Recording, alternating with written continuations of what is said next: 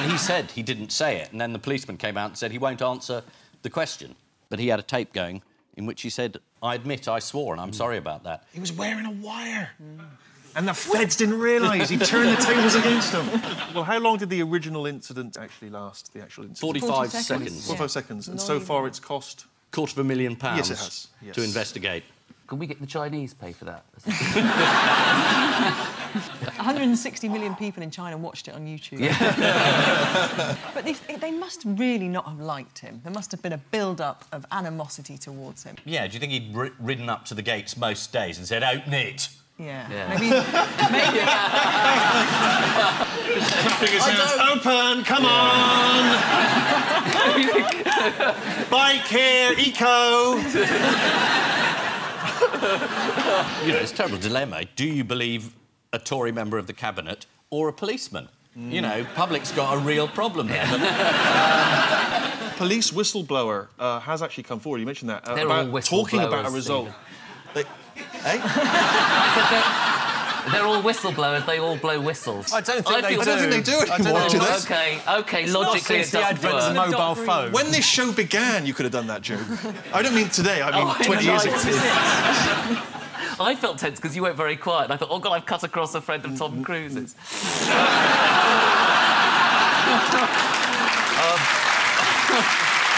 but a, well, a whistleblower has come forward with the result of a plot to get Mitchell, mm. and he says that Mitchell had a row at the gates the previous evening as well, mm. after which one of the officers had said, "Right, we can stitch him up." I love the idea that that they actually said it like you would in the Beano. right. When he said uh, Margaret Thatcher did great hurt to the British people, although not as much as all those bombs, eh, Gerry? all right, Gerry, any time! Yeah. Straight between your gizzard! I thought we'd politically moved on from issuing threats to former members of the IRA.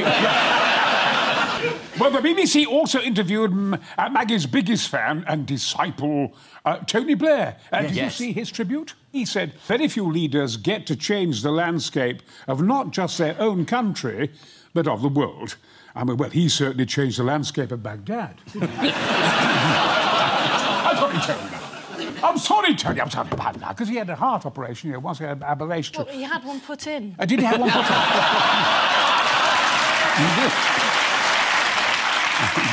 and now, Lord Howe of Aberavon was asked... I'm not going to say that again. Yeah, go on. Was, I'm not. Aberavon... it sounds like you're drowning in a bath. was asked by Sky for his thoughts on his time in Thatcher's cabinet. And he said it was a long time ago. Well, yes, that's the idea when someone dies, Geoffrey. A bit of reminiscing about old stuff. Come on, shape up! I think you're in safer ground attacking Geoffrey Howe than you were with Gerry Adams. Did you hear about Julian Stiles? According to the Mirror, yeah. uh, Julian, 58, was made redundant from his factory job in 1984. I've been waiting for that witch to die for 30 years, he said. Tonight is party time. I'm drinking one drink for every year I've been out of work. 30 years without a job. Pull your finger out, Julian, you lazy bastard! I'll kill you, you bastard! Let's abandon this show. Let's. Brian says, "Who wants a fight?" Line up in alphabetical order. Adams, right. you're first. I'm not in touch with Vivienne Westwood. Right. Though I did get married in Vivienne Westwood, so... Did you? You know, yeah. Not what, inside her? Karren Brady, uh, off of The Apprentice, was at the Tory Party conference. Oh. Um, uh, what was she wearing? I mean, what, what was she there for? Oh, yes. well, I can tell you what she was wearing. Okay, you can say It was one you... of those body what's it illusion dresses that makes you look half the size you are. Yes, a bodycon right? That's dress. the one. Oh. Yeah. Um, yes. Heard of that. Well, let, good. Really good, yeah. Try one next time. I will, yeah. yeah. not that I'm saying you need to. No, not that saying I want to. we can uh, have a look at Karren Brady's bodycon yeah. Dress. If you believed the bodycon there, you'd, you'd just call an ambulance, wouldn't you? Yes. Brady uh, was there to introduce George Osborne. Do you know how she did that? It wasn't- George Osborne. Bill Clinton did Tony Blair once. Really? I mean, introduced him. Get your wife to do it now. That's the other thing at the conference. I think after after Justine's performance in the Ed Miliband show, no wife is going to do it again, are they? Did anyone She see was that? told to kiss him. Oh yeah, and she has to do it. Well... Not even prostitutes have to kiss.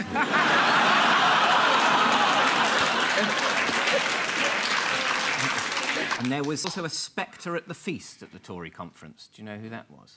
Oh, Nigel Farage. Yes, and of, I suppose the ghost of Margaret Thatcher was probably Because she was invoked, wasn't Yeah. she? Was she? The mummy They did a séance. Anyway, he turned up, didn't he? Yes, he turned up in Manchester to address um, a lunatic fringe. Sorry, Freudian slip. A fringe meeting. Um, here he is arriving. Do you expect a warm welcome at the Tory conference? No. It's time now for the Missing Words round, which this week features as its guest publication Ratitude. the magazine of the North of England Rat Society. For northerners who don't find pigeons dirty enough. and we start with Putin is what, says author? Uh, great bloke, and I want to live. Yeah. Is it gay? The answer is latently gay, says author. A new biography of Vladimir Putin speculates that he might be latently gay. the biographer is not the first to make this claim. The idea that President Putin is latently has been put forward by a number of recently deceased psychologists.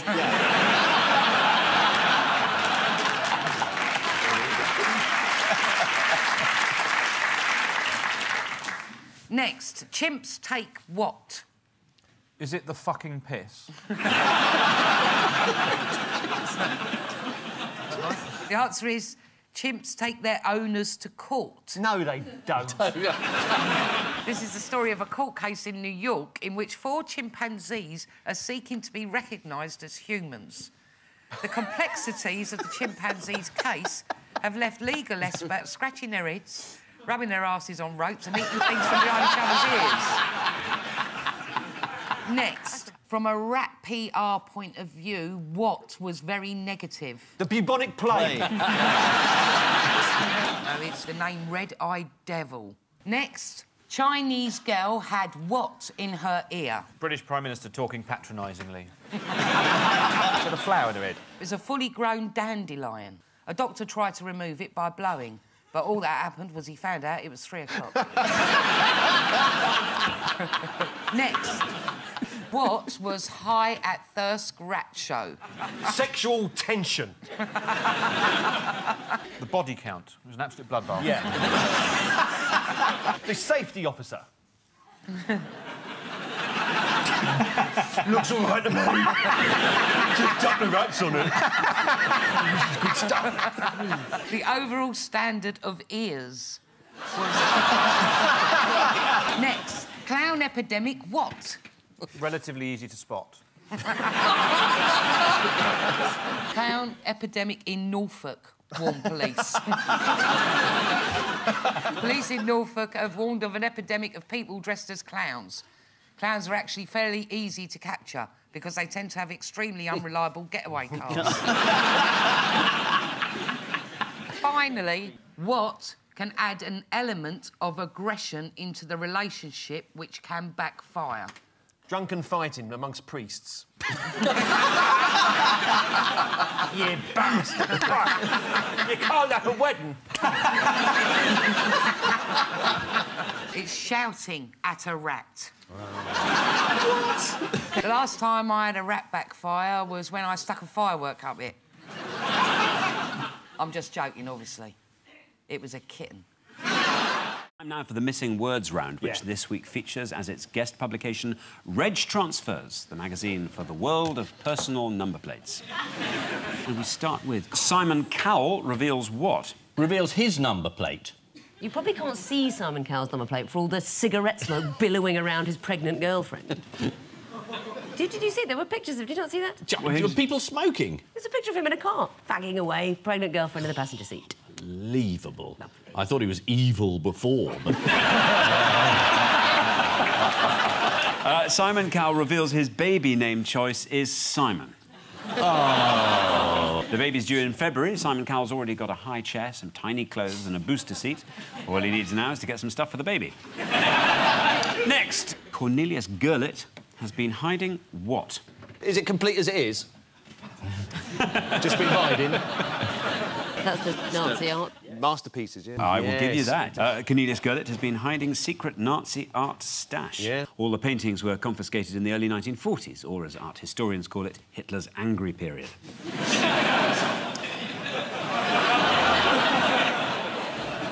Next, in Essex, we all have what? Uh, automatic weapons. Uh, uh, an intrinsic knowledge of our local area. Personalised number plates. Personalised plates. Yeah. There we are, yes. In Essex, we all have personal plates. I wanted my initials on my car, but I didn't fancy splashing out in a personalised number plate, so I just bought a second-hand AA van. Brilliant. Next, police dogs will receive what? I know this. Go on, then. Pensions. They're going to get pensions. Pensions? Absolutely right. And rightly so. Yeah. Rightly so. Yeah. I can't believe nobody said truncheon meat. Now, they did. that response is the reason why nobody did. Uh, next, George W. Bush planning what? A gallery, an exhibition. Yeah. He's going to open an exhibition. Yeah, but that's almost there, yes. He's planning to paint a series of... He's planning to paint a... por- Oh, Lord. W- George W. Bush planning to paint planning to portrait paint portrait series series of of world, world leaders. God, There we used to accuse him of not being able to read. Yeah. According to the Telegraph, he is also known to dabble in landscapes, as the people of Iraq know only too well. and finally, David Suchet admits to what when playing Poirot? Oh, I know that one. Yeah. What is it? Yes, he's got a, a penny up his arse, hasn't he? So it helps him mince the walk. You're absolutely right, yep. David Suchet admits to clenching a penny between his buttocks when playing Poirot. Which he learnt from Laurence Olivier, Yeah. who you're- I think had more than pennies up his arse at one stage.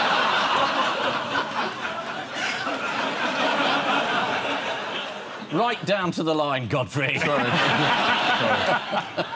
know you won't ask me back. So, the final... What bit did the BBC get wrong? This idea. Um, so I run a company that trains veterans to go into cyber employment. Yeah. And four companies away from that, there's a company that's gone bust. Yeah, it's not many companies. It's quite a big company. Four people being arrested. Big story. It's a big story, but it's got But nothing you to do never, with me. you never. Well, of course not. Why Not would I have interested in anything who to do with provided your financial eighty-five products? thousand pound salary.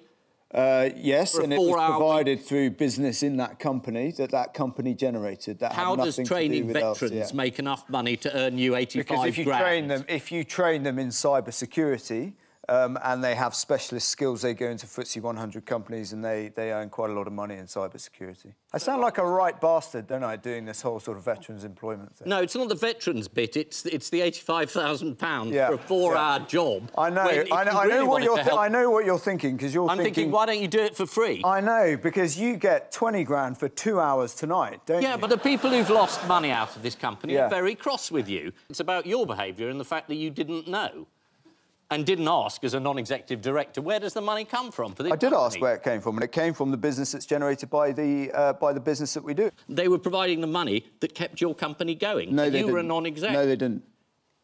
That's why the BBC are being sued for libel because no money went from that company into Crucial Academy. But it did, though.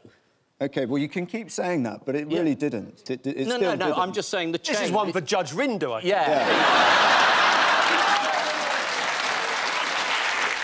I'm just, I am merely trying to establish the facts. You say you're going to sue the BBC for reporting a story that everybody else has run, and you say that's not how the money got there. I am absolutely sure that not a single penny has come from LCF and gone into Crucial Academy. If it has, Well, I it would hasn't leave. gone directly in. It's gone in through a series no, of other companies. directly or indirectly. If it had, I would leave.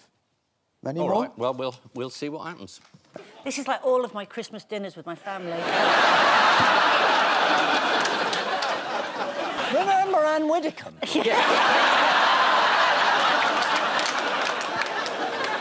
I'm I'm sorry, David. It's a big story. Four people were arrested, and I know you think that your political enemies have, have smeared you with this story, but no, it I don't. there. No, I don't. It's in the news. No, I don't think that. I don't think they have smeared me with this story. But you have accused the Deputy Chief Whip of trying to dig up dirt. The Deputy Chief Whip has decided to go and um, ask friends of mine that I served with in the military whether or not things in my book were correct. And uh, obviously, I found out, wasn't, wasn't overly pleased. That book was signed off by the parents of individuals who were killed in that war and who fought with me and my soldiers, but obviously not good enough for the Deputy Chief Whip. And when I confronted him about it, he claimed that was his job to kick the tyres. And when I spoke to my friend, who he had actually spoken to, he hadn't done anything like that at all. He tried to get some dirt and blackmail me to um, vote for the Prime Minister's deal in January. That's why they did it, to try and force your vote. Yeah. Right. Nice place, politics. Yeah, it sounds great. Yeah. Why did I sign up? Why did you? Yeah. like Anne Widdecombe. Remember her?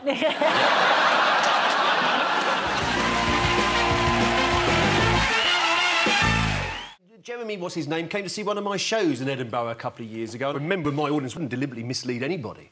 So I'm quite willing to believe everything he says. So that's you and David Cameron. Yes. If the Prime Minister thinks he's OK, that's good enough for me. I'm quite naive about these things. Well, the Prime Minister's had a very good track record. I mean, Andy Coulson was OK. Yes, he was all right, wasn't he? Yeah. Till he wasn't. Until he wasn't. so what's your reading of the situation, Mr Hislop? Do you know... What? I don't think the government come out very well out of this. it does appear that they were so far up Mr Murdoch's bottom, you couldn't see any of their heads. this is the Leveson inquiry, and it was Yes. a, a, a shocking day. Mr Hunt was the Culture Secretary. He was in charge of the bid for B Sky B, and yet his office was giving information all the way through to the Murdochs. I mean, why hasn't he gone? It's more Uh, bankrupt. well, He's- he's, he's there as a firewall, isn't he? If he goes, then Mr Cameron is looking very shaky. It's, it's like that thing of when everybody gets annoyed with each other and they end up kicking the dog. I mean, James Hunt has, has dismissed his private advisor. James Hunt, the James? former racing driver. Why am I asking this man? Why am I asking him? He's got no idea. He's mixed up Formula One racing drivers with a culture secretary. Mind you, if you're going to get his name wrong, it's better to get his first name wrong rather than his second name. I think I was trying hard not to get his second name wrong. Look, this came in uh, the 70s. You're, you're, you're, all, you're all right in the zone. This is the news that the Leveson inquiry has finally perked up at long last, and uh, everyone Everyone is. finally perked up. There have been some notably excellent witness statements. You, you turned up there, didn't you? You were in a very happy position of having nothing to hide. Yeah, but I had no idea it was going to get this good. Murdoch today, selective amnesia, fabulous. You know, the medics must be having a field day. Can you remember anything about phone hacking? No. Can you remember how badly all the politicians have behaved? Yeah, bloody well can.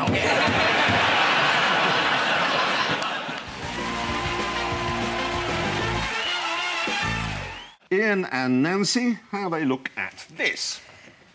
Uh, that's a Tory MP. Mhm. You can Who tell they're all like that. that's a Labour MP. Yeah. That's Tom Watson. Ah, Murdoch's been arrested. He's in the slammer. Bye-bye. And they can't bear to look. Because it's you so can't bear to sad. look. Yes, they were very sad. So that's it. Big news. Murdoch's inside. And he's. Not strictly No. true. No, it isn't, is it? I was suddenly in the world of fantasy. Um, there's been a select committee, and they delivered their report. And they said that Murdoch was willfully blind.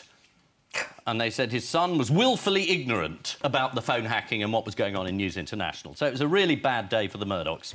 Yeah, I think Um, there are some important questions to be uh, to be answered by all of Rupert Murdoch's employees. I think there are. Yeah, so here we go. what do you think about it, Jeremy?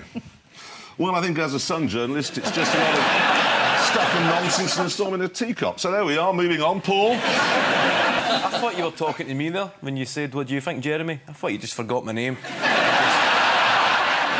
You're not the only Sun journalist. Nancy writes for The Sun. On the Sunday, a column for about fashion. Now, I can't believe myself when I accepted. You shocked yourself, did you? Actually, well, I, well there's a, I shocked myself many times. Um, uh, uh, so, yes, but every day, even a shock was there when I walked in, in the mirror in the morning. Uh, I can surprise everyone getting beautiful and beautiful every day. So, um, Have you got any English guests on this? now, now, don't start. Do you need an interpreter? Yeah. OK, I'll translate. Nancy Right. was really ashamed of herself for taking money from Murdoch. Is that, is that not it? You know, there's a shortage of court interpreters in this country. I think I might apply. Why, why do you think you speak the perfect English? Do, do, do I think I speak perfect English? D- I- these things are, are relative. Um, but I don't speak five languages, unlike you, so um, Thank no. you. I'm just trying to be helpful. Stop flirting! Stuck, you did actually once say, didn't you, that any man who doesn't flirt with you must be gay. Yes, I said. Ian, you passed. Look, look at the top pledge on the top. We will invade Iraq against the wishes of the people of Britain. Yeah, but it was it was Miliband who stopped the invasion into Syria. That's And? something for him, isn't it? I haven't heard you say much about that. No, no, because I'm, I'm more interested in the previous one, which Well, you were involved wrong. in. And we made it clear that so. We made a mistake. There's no doubt about that. But give Miliband the credit for stopping us doing the same thing with Syria. OK, because was that- Cameron was about to get to do it with the Americans. Yeah, no, I have no problem with that. And Obama You just took, don't took work about it or talk about it. Anyway, that's the difference between us. Yeah. Should we start again? But you say I don't think that so. the manifesto will only just come out, so the candidate can't be expected to know what's in it. Is the manifesto meant to be a massive surprise to Labour candidates? no, but when you get, get- Well, in our party, you have to get it through the national executive, and, the, and we have a policy making for the manifesto. You don't know necessarily what's coming through. I think some great things have come through, particularly when we're dealing with the Leveson report and what are we going to do about making the press more accountable. Yes, you're That's going- quite important. You're going it? to legislate, aren't you? What we said about that, we will, we will carry out what Leveson said. We wait to see the press. Leveson said nothing about a royal charter. He didn't mention it. I would have thought you, as a journalist, might find that's an important point. No, no, as a Oh, you journalist, don't? it's an unimportant point. God blimey, you blimey, in private, in private eye, you're sued every day, for God's sake, for what you say about people. No, we're not. and certainly Johnny. not about you. I know you've got problems with the press and your private life, John. I think the last time you raised it, you got the same move. Why don't you be more specific and say it? Usually straightforward in private eye. What's your complaint? OK, you're very, very unhappy about the press's intrusion into your private life because they No, I- revealed no, you were never having an affair complained with about Tracey it at Temple. all. And it was very embarrassing for you. No, it wasn't. God, it, it wasn't embarrassing. No, I made a mistake. I owned up to it publicly, and I was waiting for this one You to come You didn't own up you. to it publicly. You were revealed I've as got an doing idea. it. Hey, I've got an idea. I've got an idea. I did it at Why the don't Labour you two find a room? Didn't you watch You that? two find a room, and whoever comes out alive is the winner.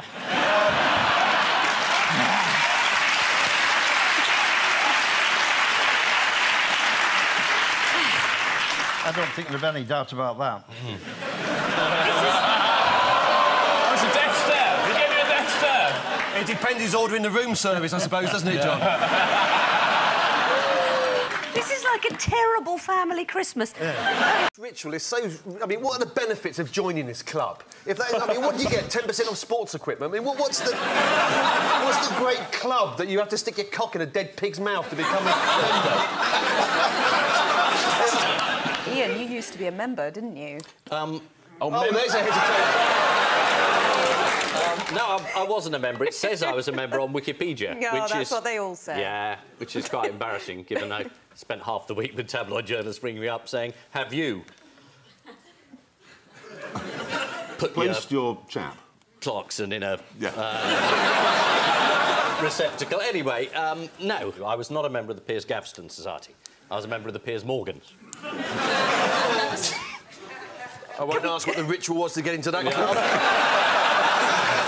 Did you know people who were, though? Is that the sort of Yeah, thing they did? yeah, yeah. I, no, no. I mean, uh, they Yes, threw... yes, no, no. Your final two words on the subject. No, no. He asked me two questions. He said, "Did you know people who were there?" Yes. And then he asked another question. So I said, "Yes, I did know people. No, I didn't," uh, which is is sort of my answer.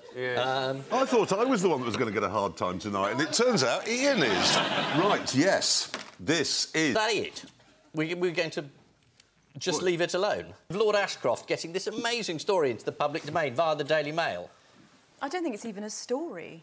It's a it's a It's act- it's a fantasy. It's I an act you know, of amazing revenge by the Mail in cohorts with Lord Ashcroft, which the whole country has decided to believe.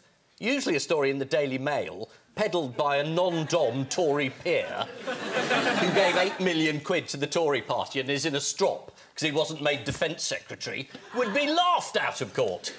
Well, it's not in court yet, but I was hoping it, it might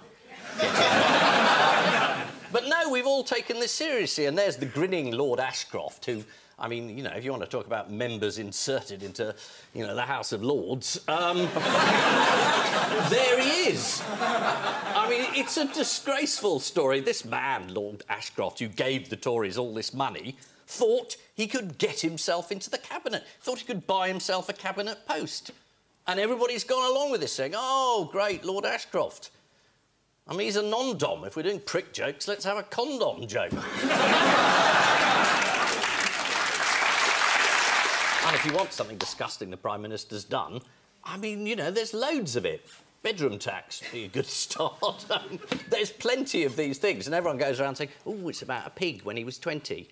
Well, how about being really appalling when he was 50?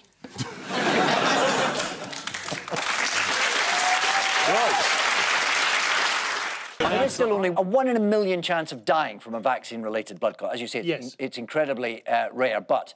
Uh, the real young- danger is, is surely that politicians are, are looking at the facts and then changing their minds and changing the policies to do something sensible. And if that catches on, I think we're in for a terrible, terrible shock. Are you still being light, Ian? Is this you being light? Yeah, this is me being light. This is me being uppy. The jazz hands were missing when you said. Oh, sorry, no, because I, I haven't washed them. I like the way it turned into a contest between all the ministers about other things that are incredibly risky. Like they could all name things that are surpri- like, oh, it's much worse to go upstairs, or much worse to take the contraceptive pill, something you'd think Boris Johnson would be more aware of. and they keep analysing the risk. They say it's the equivalent of driving for 250 miles. I mean, that's all the way to, to Durham. I've had my vaccine, right? I- I'm a, I'm a little bit annoyed because I genuinely didn't feel a thing. And, I, and there was me saying, oh, thank you very much, it's brilliant. And on the way out, I thought, well, how do I know they've actually done it? I didn't have a sore arm, didn't have any side effects at all. I, as far as they could have been taking the piss. I just thought, well, they're low on doses. If we don't like the look of him, let's not give him an injection. Yeah, exactly. So I've had nothing. I, don't, I, I might not, have, but I've been told I have. See, I knew you'd find a miserable hang. Did they give you a little sticker at least? I wanted a I've been brave sticker. I think that would have been good. That would have sort of, you know, obviously there were four of them holding me down at the time. And we start with the bigger stories of the week. Yeah, great. George Osborne. Oh, it's just handsome hunks Friday. This is the autumn statement, um, which was quite cheery. George Osborne announced that it's not as bad as you think. It's worse. it's just so gloomy, it's unbelievable. Everything's up. Misery, austerity, poverty. Yeah, it sort of it's- makes you yearn for when people said, no, things are going to get better and it'll be all right. He just said, no, it's terrible. um, until 2018, it's just awful. yeah. He should have just thrown his paper and gone, F it, why bother? So that's his prediction, is it? No, no, Just- he's, he's, he's changed his predictions. His previous predictions, unfortunately, weren't true. Um, or didn't come true. And his new predictions are much more realistic. Are they? Yeah, he says it's going to be really awful. He says there'll be negative growth uh, for the end of 2012, which means it's a triple dip recession. Sounds like a delicious ice cream. But we have got growth. We've got the Duchess of uh, Cambridge. She's gr- she's having growth on our behalf. And, and she will be a beacon in my life. beacon of hope. As I see my pension fund I started now worth three peanuts and a bauble. you know, as I slowly rot in my You're shed. not going to slowly rot in a shed. Those are comforting words as we approach Christmas. There's always someone worse off than yourself. Yes. It is, yeah. As the Queen often reflects.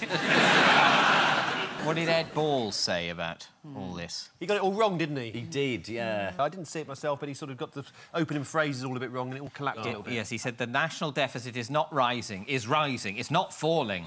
Yeah. That was his zinger Yeah. against the government. And they just sat there and they laughed at him. But then there was discussion about whether all this wasn't down to his stammer. He said it makes it much worse when people shout at me.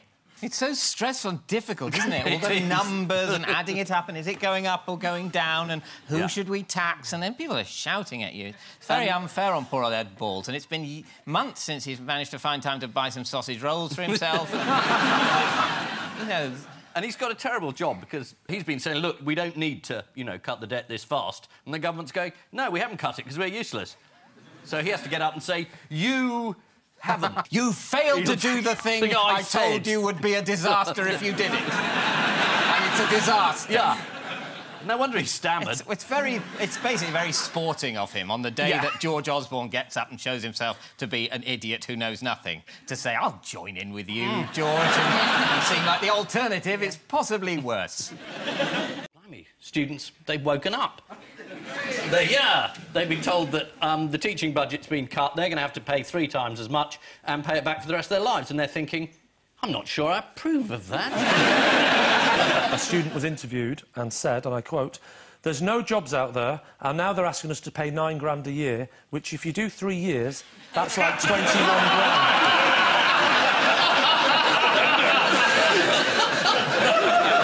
of course, the Lib Dems were staunchly saying, of course, they wouldn't go up, which is great that they got in power and um, put it up. Yeah. Well, they, they had no idea they were going to be in power when they, Well, they could when they made these promises. Nick Clegg keeps saying it's the right government for the right time, which I think is such a, such a seedy way to sort of dignify opportunism. You know, he would have made a pact with the Klingons if it meant a sniff of power. I don't know, I think the Klingon manifesto was pretty good. No, no, no. I'm going to disagree here because the Klingons have shown in the past that they're hell bent on world domination. So I'm glad the Liberal Democrats are in there with them. And the Klingons always get the Lib Dems to make the policy announcements. Absolutely. They're going to blow up a whole planet. They say, oh, get the Lib Dem to announce it. the Lib Dem party in this arrangement is the equivalent of the guy you see on Star Trek walking around the planet who you've never seen before, is the first one to get killed. That's the Liberal Democrats in this scenario. But how does Nick Clegg look at himself in the mirror in the mornings? Just looks at David Cameron and sees the same thing. America? Yes, of course. They've just had these mid-term elections. There's Sarah, Sarah Palin, Ian's favourite. and then uh, there's Obama, the president, who um, is not doing very well at the moment. The American people, one in four think he's uh, Muslim, one in ten think he's a terrorist.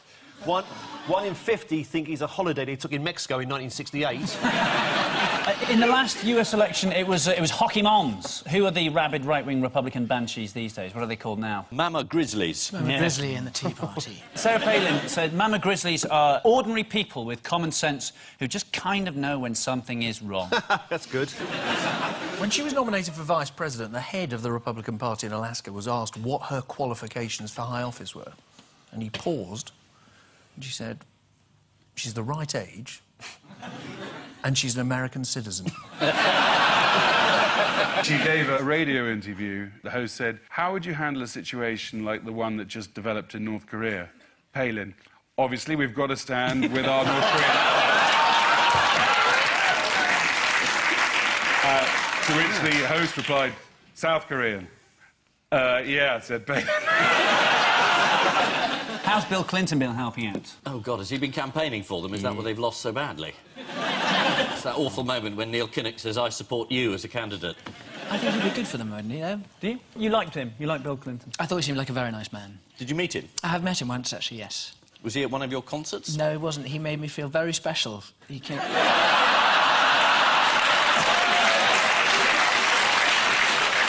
Did you keep the dry cleaning receipt? On the eve of the election, Bill Clinton made his own contribution to the campaign. According to The Times, Mr. Clinton went through nine different states, including arousal, ecstasy, exhaustion, and guilt. Time for the odd one out round. Mm. Paul and Bernard, Antigone, mm. Samuel Pepys, oh. Bernard Cribbins, and some Franciscan monks in Leicester. Um, Antigone, um, I, oh, I don't know anything about that. It's, It's- I did the play once. Something to do with your career, Bernard. Um, Storytelling? songs? Storytelling. No. Well, we'll keep going. We know it. It's to do with holes and burying. Ah. Because hole in the ground. Bernard did a song called Hole in the Ground. Hole in the ground, yeah. How did it go? There I was, a digging his soul, hole in the ground, so big as all around he was, and there was I. It was Noel Coward's favourite when he did Desert Island Discs. And he said, if you could only have one record, Mr. Coward, which would you take? He said, I'd take Mr. Cribbins doing Hole in the Ground. Why? I could translate it into French as I walked up and down the beach. True.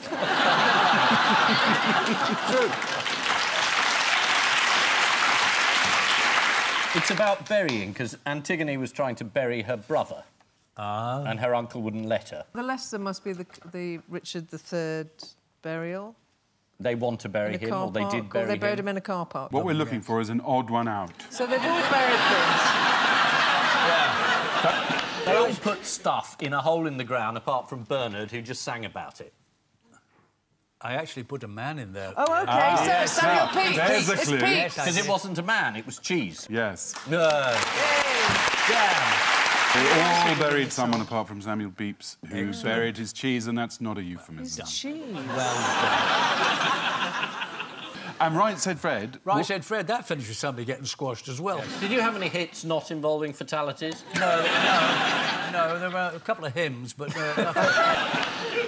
In Greek mythology, Antigone buried her dead brother. And how's the story end, Ian? Badly.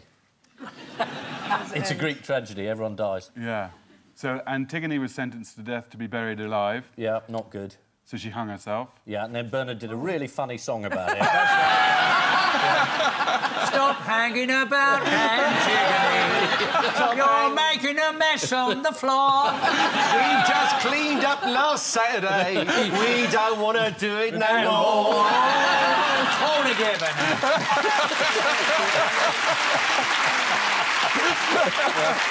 Yes, they've all buried someone, apart from Samuel Pepys, who buried his cheese to save it from the Great Fire of London. the monks who buried Richard III wore grey garments and were hence known as the Grey Friars, just as those who wore black garments were known as the Black Friars, and the profound thinkers who ate a lot, the Deep Fat Friars.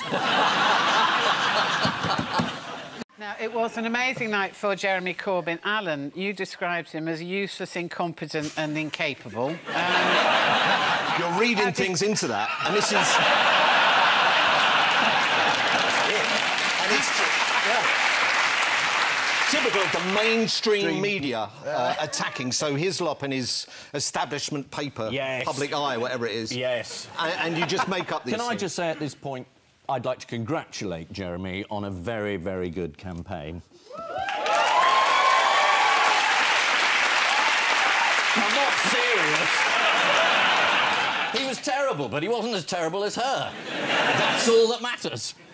We didn't start win. from We a really win. low bar, a huge success. But He's we- now as successful as Gordon Brown was when he lost. I sort of think that most people will vote Remain if they do it again. No, all the polls suggest people haven't changed their minds at all. OK. Everyone in here, if you had your time again, who would vote differently? Well, what's that going to tell us? I'll tell you what that is going- 50% put their hands up. Well, that's, that's conclusive. No, what that tells us is absolutely pointless to have a second referendum because for anyone to vote any different, they would have to admit they got it wrong the first time round. No one's going to do that. No, people don't want to do that. Yeah. All that talk about, oh, if there's a second referendum, there will be 80 20 in favour of Remain, not on your Nelly. No, No. chance. it will be exactly the same outcome because. Mm. Say you weren't happy with the level of immigration two years ago, you're not going to be happy about it now. No. So if, if, if you thought two years ago the country was run by unelected European Union bureaucrats, well, nothing over the past two years would have changed your opinion on that.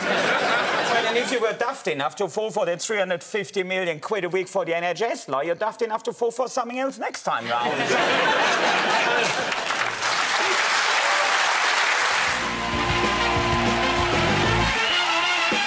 Nick, here's another for you. Oh, yes, OK. This is uh, a, clip from George Méliès's Voyage to the Moon. Um, that's a nuclear explosion. There was some story this week about, was it during the Cold War, the Americans were debating about whether they should blow up the moon with nuclear weapons. I'm not, I didn't quite see what they thought the point with that would be. It's because Hans Blix had told them that the clangers had weapons of mass destruction. Obviously, the little boy was the bomb they dropped on Mm. Hiroshima. Yeah. So they were looking at something a lot bigger. Um, it was called a fat man. Would you like to see a picture of a fat man? Yeah. See? This is the actual bomb. You thought we were going to show you something like this. The, um... No. It's Eric Pickles. He's uh, um, a member of the cabinet. Have you ever heard of him? Yes, I certainly have, but I, I didn't realise he was that large.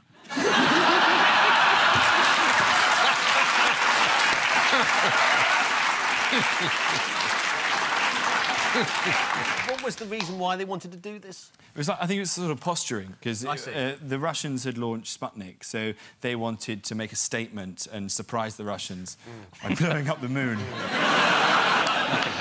yeah, nothing happened. in the Sanity end. prevailed. Yeah, because there were doubts over what effect a moon blast could have on Earth, including tidal patterns.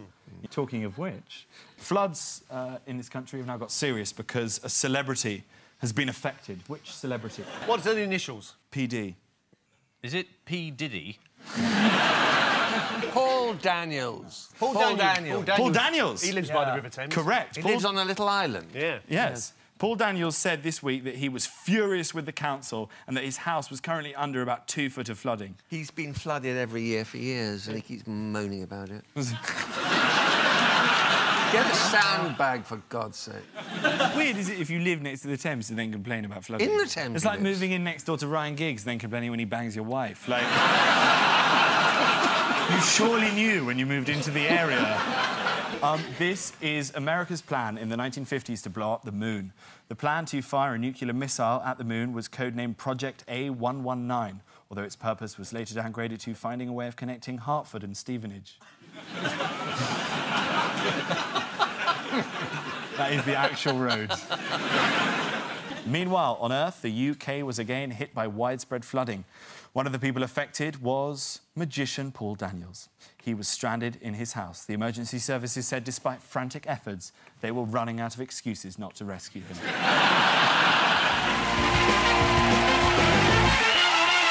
Rachel, take a look at this. That's uh, women bishops. Yes, it's welcome to Have I Got Pews for You. we must have had that joke before, Ian. No, there's a reason for that. no, no. Um, there's uh, the outgoing Robert Runcie hugging what could be a female member of the laity or the lady. I think it's Rowan Williams, actually. Oh, it was Rowan Williams, wasn't Yes. it? Did I say Runcie? God, yeah, I he's am dead, out but date, in, aren't in I? a real sense, he's still with us. Um, essentially, as I understood it, it was there was an overwhelming majority in favour of women bishops, which means you can't have them. I think everyone was a bit startled, shaken and stirred. shaken and stirred by this vote because in this country. It doesn't I- help by repeating it slow and No, loud. I It doesn't work thought, the I first thought we made It's I thought we louder. bonded then, though. Me and. Oh. we we, we okay, have okay, I'll- bonded. I'll- I'll I hurry up. was thinking of covering the Israel-Gaza crisis. No way on the women bishops. Yeah, well, I reckon the women bishops story would keep it light. Just shows you how wrong I can be, doesn't it? I think that in this country we expect people, on the whole, especially beardy Christians, who wear sandals and who say things like "God bless." I think it's called Jesus. It's called Yeah, Jesus no, in the Bible. We expect them. no. Jesus in the Bible.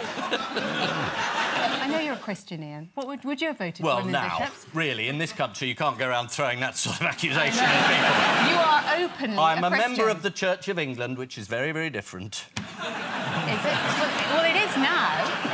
There are three houses. There's the, the bishops, and they voted for it, and the priests, and they voted for it, and the laity, they didn't. It's a very, very peculiar decision. But as it happens, everyone's very, very sad and very, very disappointed. They're going to do what the C of E does, is they say, we're going to take our time, we're going to pray for each other, we're going to bitch about each other really badly Yeah. uh, in private, and then in another hundred years, we'll have another vote. Yes, but As soon was- as that? Yes. no, it's, it's all go. Reforms just Yeah. like that amongst religious Well, groups. I'm never going to make it, am I, as a women bishop? Do you know, I think you're not. Uh, I tell you what, though, this has opened the door for women imams. There's a whole gap in the market. Well, market what there. I think is that the women in the church... They haven't quite got Yeah. round to that yet. But it was stymied by the laity, Mm. whatever Exactly. that means. Whatever it means, it happened.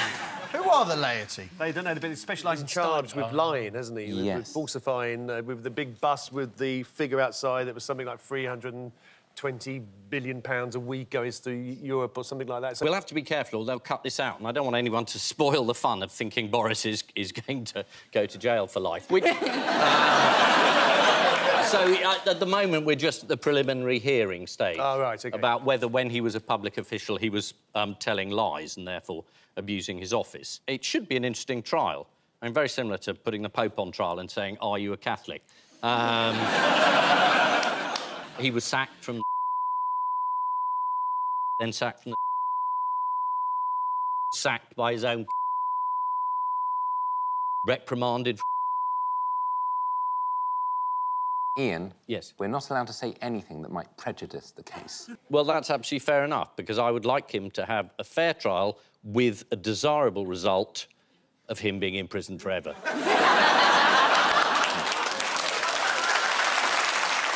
Without wishing to prejudice the outcome of the case. No, because we mustn't do that. I'm not saying he's guilty. Would you like to see Boris Johnson? Let's deal with your arguments. One of them is on the side of this bus. We sent 350 million to Europe. We don't, and you know we don't. No, we don't. You know we, don't. No, no, Admit that that figure No. is grotesquely misleading at best. I won't. I won't. I won't. The true figure is 161 million, correct? Uh, no, the true figure is 350 million. In pounds. net terms, the true, the real figure is 161. If you take out the abatement and the and the money that comes back, the UK money that comes back via Brussels, the figure is obviously lower. Matt Lucas is so good. David Cameron votes on the high-speed rail bill's uh, second reading. Well, he's all for it, isn't he? Uh, he didn't turn up. Oh, he didn't turn up? No. He didn't actually turn up. He was up, on a train. It was late. Well, He didn't bother, even though he lives just across the road. Uh, apparently, he was, uh, he was having a date night, and uh, Nick was really looking forward to it. So, he, Mayor of London, Boris Johnson, is a supporter of the high-speed rail link. Uh, but how did he sensitively answer those voicing environmental concerns? He said it's absolute bollocks. All these environmentalists, um, they don't care about butterflies and trees. All they care about is their house prices. Do you know what? If Boris Johnson was a like a woman or a poor person, they wouldn't get away with the things that he says. Mm. But because he was like well educated and posh, I think people Is there a problem that- coming here? no, but I think. no, but we wouldn't get away with it. The thing, but people assume that his stupidity is deliberate because he's been so Hmm. well educated. He basically said that trees were stupid and that they didn't need to be saved because there are no trees in this country older than 200 years old. Why is he so anti-tree? He hates tree. They all Hmm. hate grit. They all think the environment is like for pussies, don't they, and girls and stuff. no, they do. It's all money. Who's money. they? make me sick. All you lot. Yeah. What lie did Boris Johnson tell Robert Peston? Was this the 350 million again? Linked? On the NHS? Linked.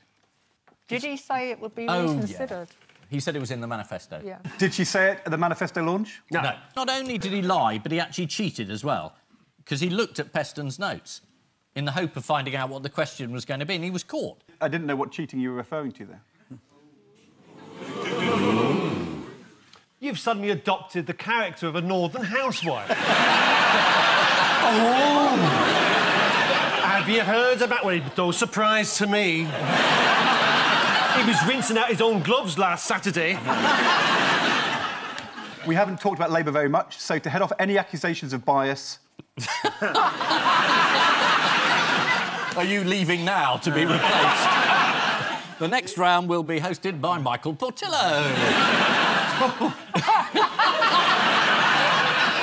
Come on, we can have a train round. When it comes to Labour's manifesto promises, how did Shadow Foreign Secretary Emily Thornberry muddy the waters? Uh, was this Trident? Yep. She said there'd be a review, and the review might include scrapping it. Was that the problem? And do you know who contradicted her and said it was Labour's policy to keep Trident? Shadow Defence? The Shadow Defence Secretary, that's Yeah. right. This was Nia Griffiths, the Shadow Defence Secretary. Emily is not the Shadow Defence Secretary I am. You're doing it again! I don't know who that man was. She was in the pub on Saturday, but it wasn't her husband, I'll tell you that much. I know full well he's got a job in Peterborough. Where did David Cameron decide to start pumping himself up? Where, Where? did this happen? Yes. I mean, geographically, where? Was it in the Ghoul area?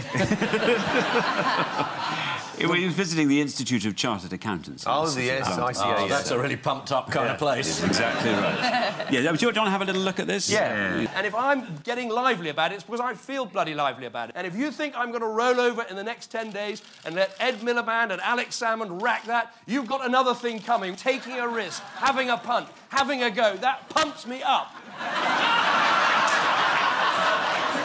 I think that passes for hysteria amongst the uh, accountants. Yeah.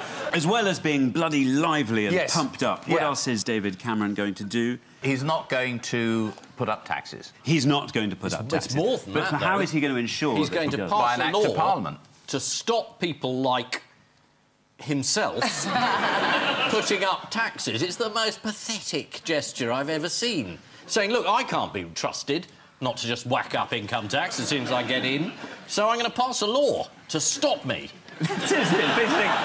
Income tax, VAT, and national, National insurance. insurance, yeah. You know, in any government that comes in, historically, the first thing they do is they put up taxes, because they have to.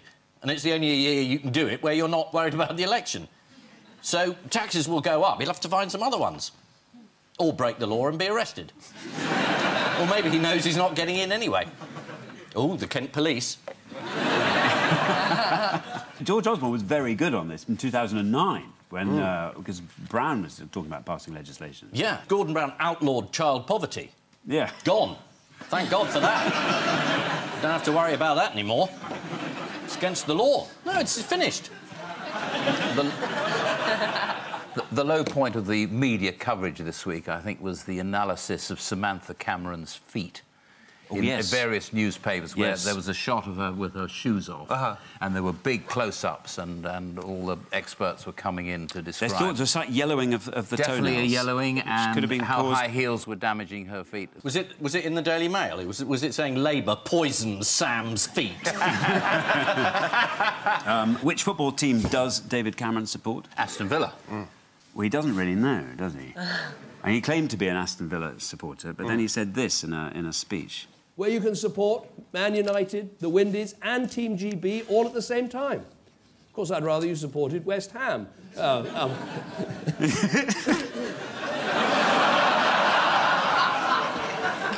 He seemed Yeah. to realise he'd said the wrong thing. How did he explain his mistake? I don't support West Ham or Aston Villa.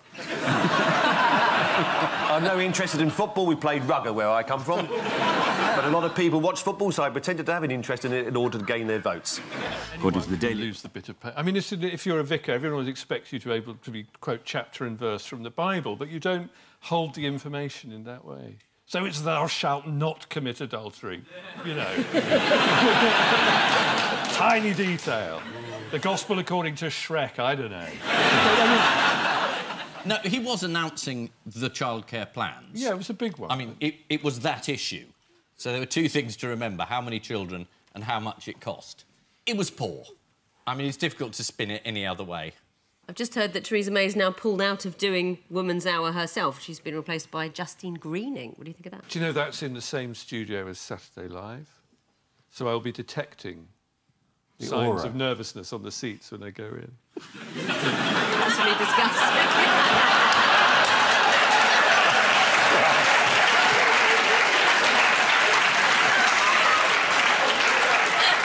It's another edition of I didn't know a vicar would say that.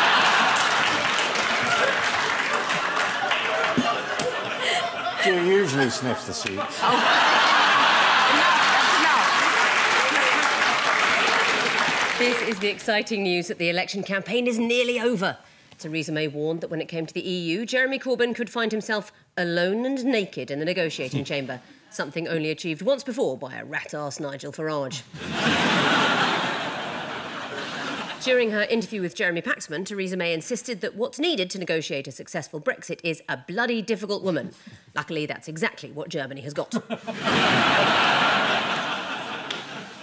After Theresa May missed the debate, the Mirror referred to the absent Prime Minister as Chicken Theresa May.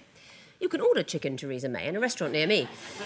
It's thin skinned, boneless, and refuses to be grilled. David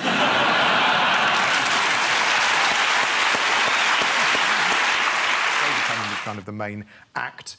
Uh, what did you make of his speech? Well, I mean, again, he's he's quite competent. He doesn't um, mess up the autocue. Um, he got some applause.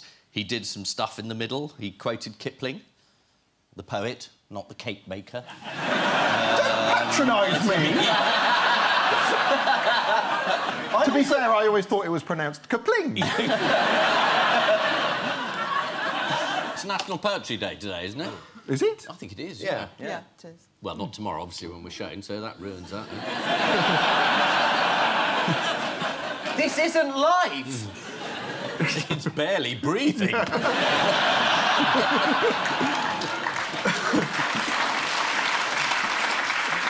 How did you feel about him having a go at your friend Jeremy Corbyn, Diane? Well, it's certainly not the kinder, gentler politician. He did say in his speech of Jeremy Corbyn, he said, My friends, we cannot let that man inflict his security threatening, terrorist sympathising, Britain hating ideology on the country we love. Um, this was in reference to an interview Corbyn gave in 2011 where he said it was a tragedy bin Laden had been assassinated rather than tried in an international court. Uh, BBC News didn't mention that nuance in their coverage of Cameron's speech because they've still got a licence fee to defend. However, Ed Balls was remaining optimistic. Uh, Mr. Balls, thank you very much for joining us. First of all, there's been this story going the rounds on Twitter and all the rest of it that you've been defeated. Uh, i- i- uh, have you heard anything about your result yet or not? David, the ballot boxes haven't even arrived in the count. And uh, they've got to be counted, and then we'll get the results. So um, I think maybe you should spend less time on Twitter and more time reporting the results when they're actually declared. Let's just see how that's it the Shadow out for Chancellor.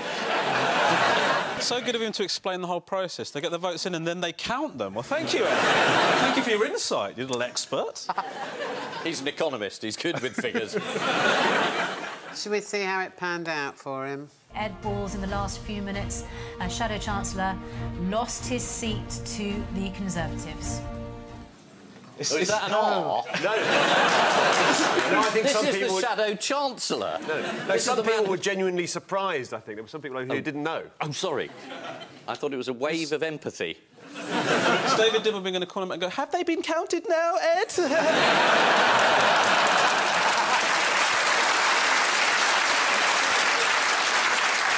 Vince Cable says what? Goodbye! Uh, Vince Cable says, I'm absolutely sure we're going to bounce back. Oh, he did say that afterwards. Doesn't make any sense, does it? You're optimistic before, then Yeah. you realise you've done shit. Stop being optimistic. Do you know what I mean? It's all gone wrong. But that's real grit. Yeah, just stop for a minute, please. Yeah, it's too much, isn't it? The Miliband has resigned. Oh my God!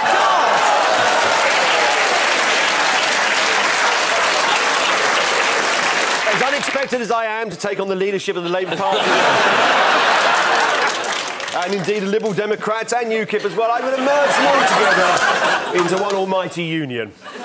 Everything we said is completely irrelevant. So out of that seven, who's left? It's like the Magnificent Nicola Seven. Sturgeon. Three women are left. the Natalie Clyde Bennett. Convery. Has she not resigned yet? Leanne Oh, come on. So that's. a lot of pressure, isn't there? A lot of pressure. So They've got one seat. Give it back to ex- Caroline All the men have gone except Cam- Cameron. Only the women have staying power. You'll do anything for applause, won't you? I'll do anything for a woman.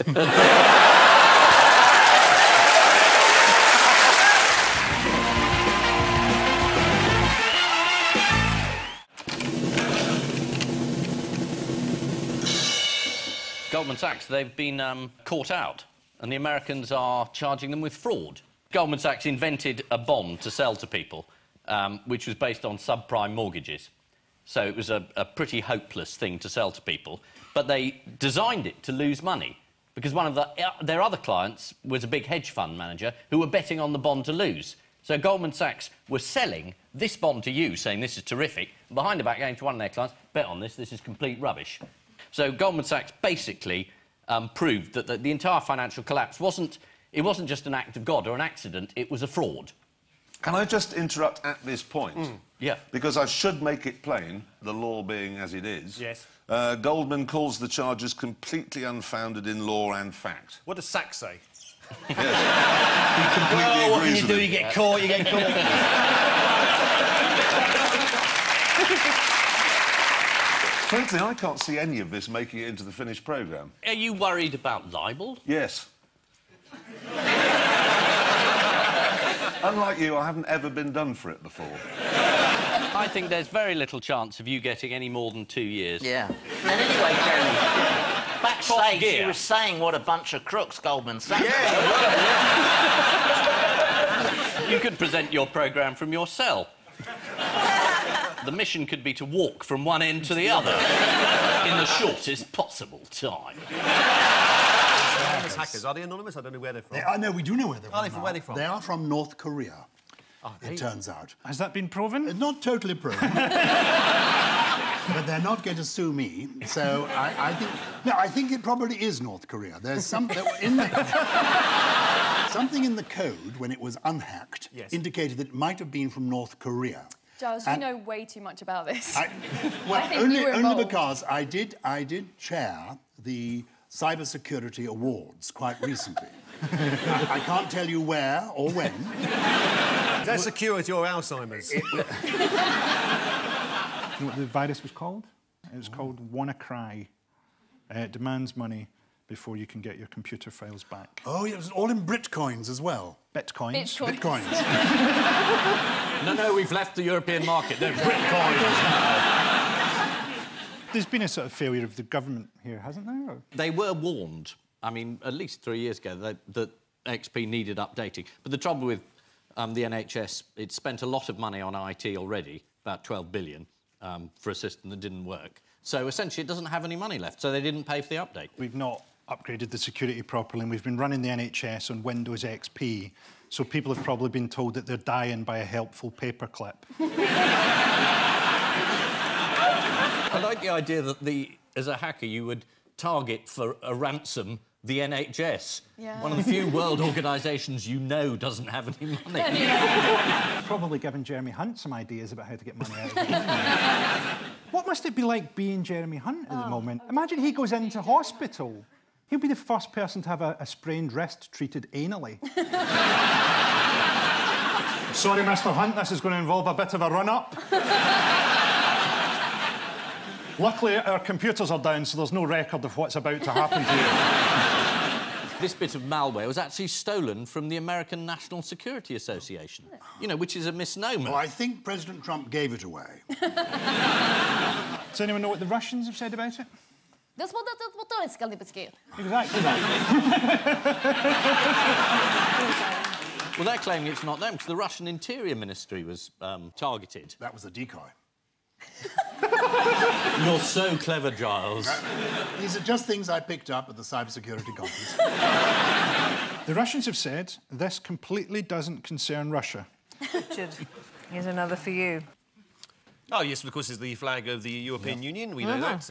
Uh, yes, uh, Nigel Farage, and he's- he's on his way to a public ceremony. Gays are allowed to get married for since Sunday. it's fantastic. Really good news, brilliant. And this couple here was the first to actually, you know, say the rights. They're now a husband and husband. Fantastic news. Oh, it's lovely. It's a lovely story. A lot of people think it won't last, but I'm all for Oh, it. I think so. They've had a couple of arguments, a couple of them in public, but, you know, they'll get together as a couple. They'll be absolutely fine. I think it's the story about uh, Yes, Nick Clegg and you. Nigel Farage having a TV debate. And who do you think won? I don't think either of them are truly winners, are they? I think you've got best loser. According to Donald McIntyre in The Independent, journalists had been briefed that Nick Clegg was going to do something unusual during the debate. What was it? He was going to show some passion. Get emotional. On a space hopper. And did he get emotional? He got a bit emotional. Um, he used his hands a lot, didn't he? Sort of, you know, just to show emotion Mm. and stuff. He um, and he took his shirt off as well, I think, didn't he? Yeah, yeah, yeah. Because of the, uh, As, far- as far as I advice. understand it, yeah, yeah. They wrestled What like men. I quite enjoyed the debate, I, c- and I think because of the way I watched it, because I didn't watch the pictures, I just had the audio. Then I turned the volume right down, and genuinely I enjoyed it. Well, it's slightly odd. You're the Deputy Prime Minister, and you're taking on, on live television, a man who hasn't got one MP. And he wins. You know, this is supposed to be equal status. Apparently, Clegg told Farage, You're making things up to make a point, to which Farage replied, You've done pretty well out of it. In other mistake news, why have Google been suffering from rogue anuses? Oh, yes. Yes. Yes. Um, this is... A, there's, there's a... Com- Yes. Yes. Yes. Oh, yes. Yeah. There is, there's a computer program which misreads old print, so arms comes out as anus, so farewell to anus. Um, I drape my anus across her shoulder in a comforting manner. This is what's happening. This is what's happening. They sound as if I'm making it up, but I'm not, am I, David? You're not I'm making not it making up. it No. The scanning technology they use uh, to turn books into e-books can't differentiate between arms and anus in certain typefaces. Yeah. Here's a quote from John Mackay Wilson's Tales of the Borders. Poor Janet shuddered at the words which she heard him utter, for with strange and wicked oaths he vowed vengeance on the individual who'd persecuted him, and she flung her anus around his neck and kissed his forehead. From, from Georgina Bragg's Matisse on the Loose, she grabbed my anus and positioned my body in the direction of the East Gallery, and we started walking. and in the complete works of Washington Irving, there is a reference to the great captain who had been one of his comrades in anus. Are there any other words that Google Book scanning technology is confused? Yeah, it can't do tax. Yes, it reads tax as free. Uh, no, it's burn and bum get muddled up as well, as in a patent for a carrier for an integrated circuit that talks of bum-in electrical contacts. God, Scotland, what happens? It's bums night. Where they all join anuses and sing old lang syne.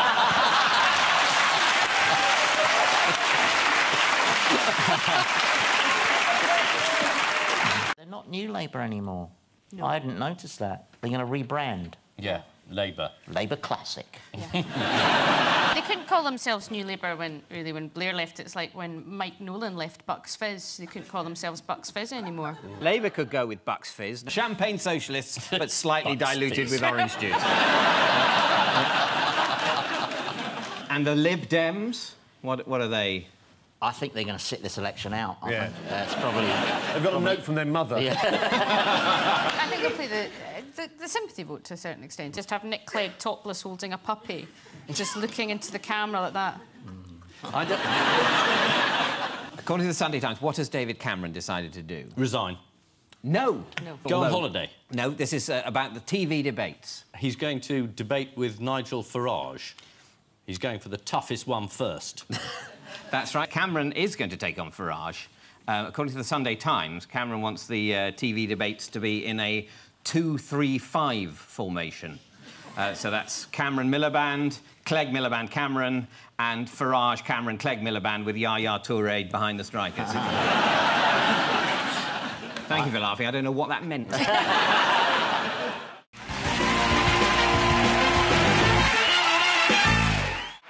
Basically, Ryan Giggs has spent an awful lot of money to ensure that he's become world famous for stuff other than football.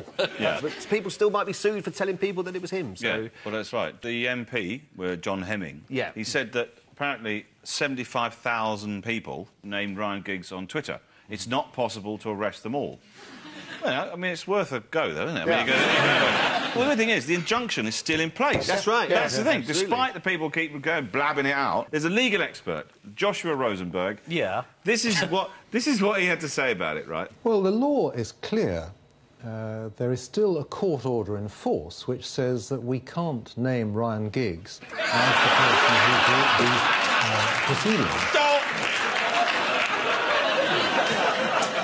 I'm we can say his name though, because I was getting so fed up. Every newspaper, every day, it was like Imogen Thomas has been having sexual liaisons with a man who cannot be named. Named. It's like what Voldemort. Yeah. I sort of see why he did it as well, Ryan Giggs, because you get the super injunction. He knows that if his identity was known, then people would know not only who he was, but also that his marriage was on the rocks. And at that point, John Terry would be round his house like a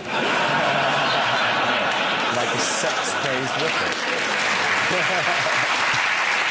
Yes, the worst kept secret in Britain is finally out. Lawyers are a complete waste of money. As the row unfolded, thousands of Twitter users named Ryan Giggs in what the Daily Mail called one of the biggest acts of civil disobedience in modern times. Top that, Syria, lightweights.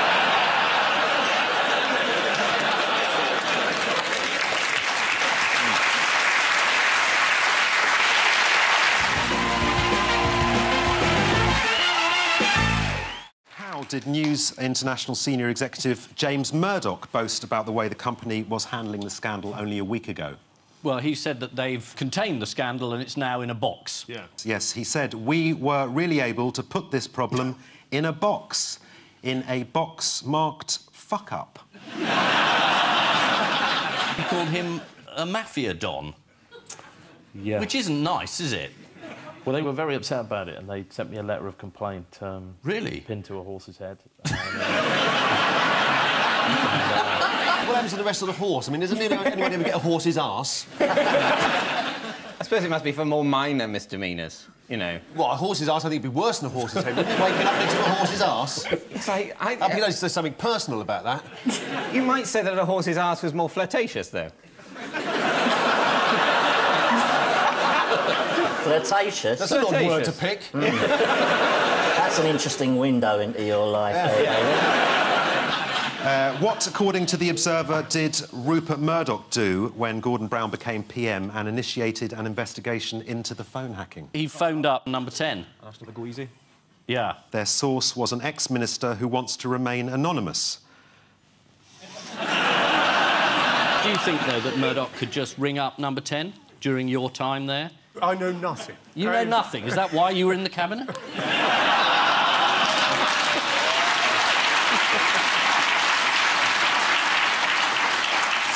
So what did you think of him then? What, Gordon? Yeah, he was all right, wasn't he? He was the Prime Minister. Yeah. And you can't have a more ringing endorsement than that. The news of the world may be dead, but its wretched ghost continues to haunt. the news of the world paid a private investigator to carry out surveillance on the hacking victim's lawyer, Mark Lewis, which involved following the ex-wife of Mr Lewis and his teenage daughter as they visited a branch of Tesco. Well, if you're looking to intimidate someone, every little helps.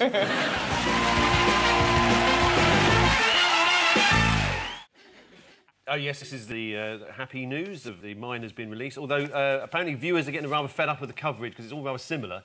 So the, the, the last 15 miners are going to be part of a lottery game where they're going to be holding up a number, and you, if you've got the number at home, it's your chance to win... Oh, what was that? Somebody winning the lottery. Oh, somebody winning the lottery. Do you know what the uh, sequence of events was for each rescued miner? They got in the thing, and they took them out. Yeah. They got out of the thing. Pretty much. Um, according to the Times, the claustrophobic escape capsule takes 15 minutes to travel 700 metres. If you want to imagine what that's like, take a trip on the Northern Line. the 24-hour news channels have been enjoying this story, but there was just a hint that they might be running out of things to say. Let's have a look. So far, the only miner to emerge from the tube with a beard.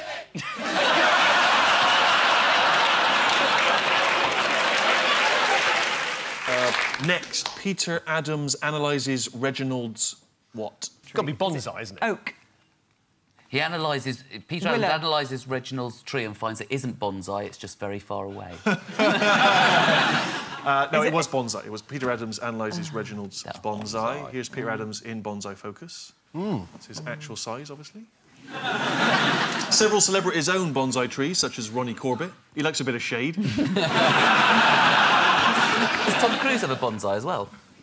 hey, don't slag Tom off, all right? it was just a normal-sized tree. Leave him alone, leave him look- alone. He's No. suffered enough. Did you did you go and see him because you're going to have a, a remake of Twins, the Danny DeVito and Arnold Schwarzenegger film?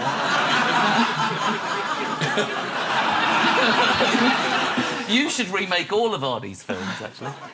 It'd be you have been well and truly rumbled. The there. Terminator. Yeah. I'll be back. I'm telling you that. I will be back. I'll bloody be back. I'll tell you. I'll tell you that. I'll be back. Big commando facing all those people. Oh, watch it, lads. Someone's Yeah. going to get hurt. Is there any other impressions you do other than me? I do Tony Blair, but then I sound like him anyway. Offend someone in Tony Blair's voice. Um, you know, That's it, I'm offended.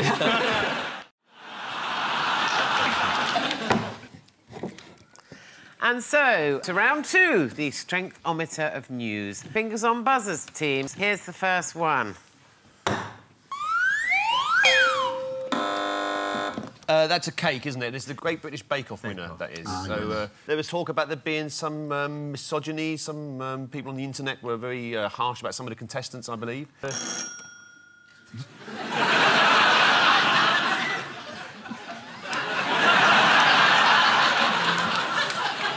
Go on, what is it now? We were just going to tell you who the people were.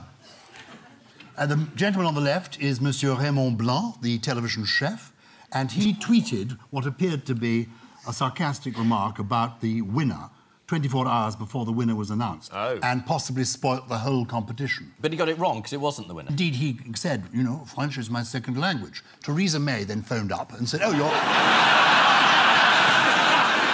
you're some froggy waller, are you? Well, get out, get out. This is what he tweeted. The Great British Bake Off, not much skills, female tears, and a winner so thin who makes me doubt her love for great cooking, comma baking.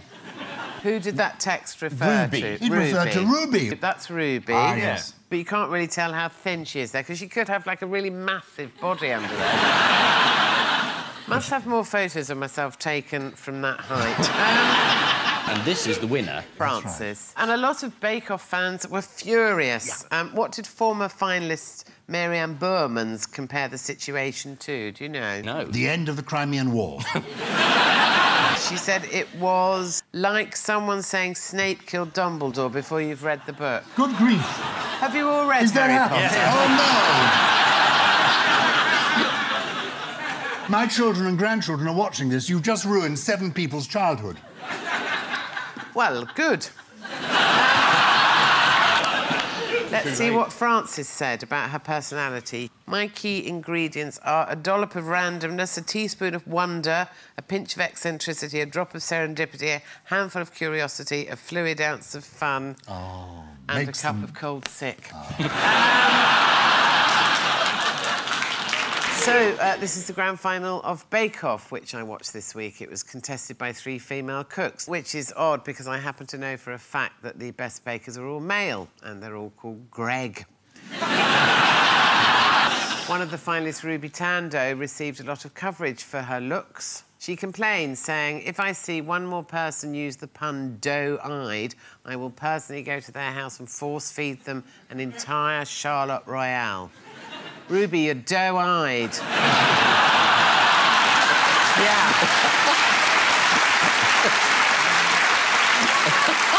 That's dough with an O-U-G-H. If I'm not at home, leave it with my neighbour.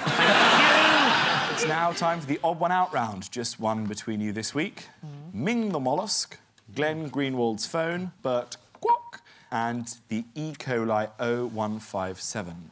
Um, well, I think it's called Ming the mollusk because it's 500 years old and dates back to the Ming dynasty. And Mm. scientists found it, didn't know how old it was, killed it. Killed it, Uh, yeah. And then discovered it was the oldest animal that I think has ever lived. Oh, really? Yeah. Uh, so you can get ill from eating those. Yeah. E. coli can make you ill. Absolutely. Um, Um. Burt Kwouk, um, is, it, is, it, is it the actor or is it the part he's playing there in the Pink Panther films as Cato? it's the Um, actor. it's the part. It's He's the playing part. Cato. Give us a clue. Yeah. Containing the answer. oh, cold. Cold. Oh, right, OK. Um, yes, um, Cato was hidden in a fridge. Yes. He was hiding in a fridge in one of the films, shot in the dark, I think, and he comes, bang. So it's about people being put in fridges. The mollusk was put in a, should have been put in a fridge and it would have survived. Uh, Cato jumped out of a fridge, he was all right. The E. coli bacteria is all right if you freeze it, and uh, it's the bloke with the phone. Oh, his phone You- was the hidden in fridge a thing fridge. was right. Everything Fridge- else was wrong, but I'm still going to give you a point because I feel like we should move on. No, but the other um, one out what was Green, Gra- Glenn Greenwald's phone. No, it wasn't. Stop taking over. You can do that on your radio show, which is on at Have you 3:30. got a radio show? Yeah, Mondays, 2 I'm going to write that down. The odd one out is Ming the mollusk. Ming the mollusk. All the others have survived a stint in the freezer, except for Ming the mollusk, who Ah, died. okay. Um, Glenn Greenwald, Yes. the former Guardian journalist who was involved in the publication of the intelligence emails leaked by Edward Snowden, regularly used to put his phone in the freezer. Why would he do that? He was worried it would be bugged. For security, yes. There's an even more effective place you can put your phone to stop anyone hacking it. Any ideas? Is that News International HQ? a martini shaker. Oh, OK. Um, E. coli 0157, one of the nastiest strains of E. coli, can survive in the fridge or the freezer. Um, how old were you when you first got colonised by an E. coli bacterium, Janet? Funnily enough, I had amoebic dysentery when I was seven. And I was actually in Hot Spice. How on earth did you get that? I thought I was. I got it in Fulham. I grew up quite near you, Paul. Yes. I think it's something you sent from Fulham Palace Road to my Oh, I used to send out those parcels all the time. Ming the mollusk was an ocean quahog, a type of clam. How easy is it to date a clam? Uh, well, you have to get them drunk first. there's, there's an app called Chowder.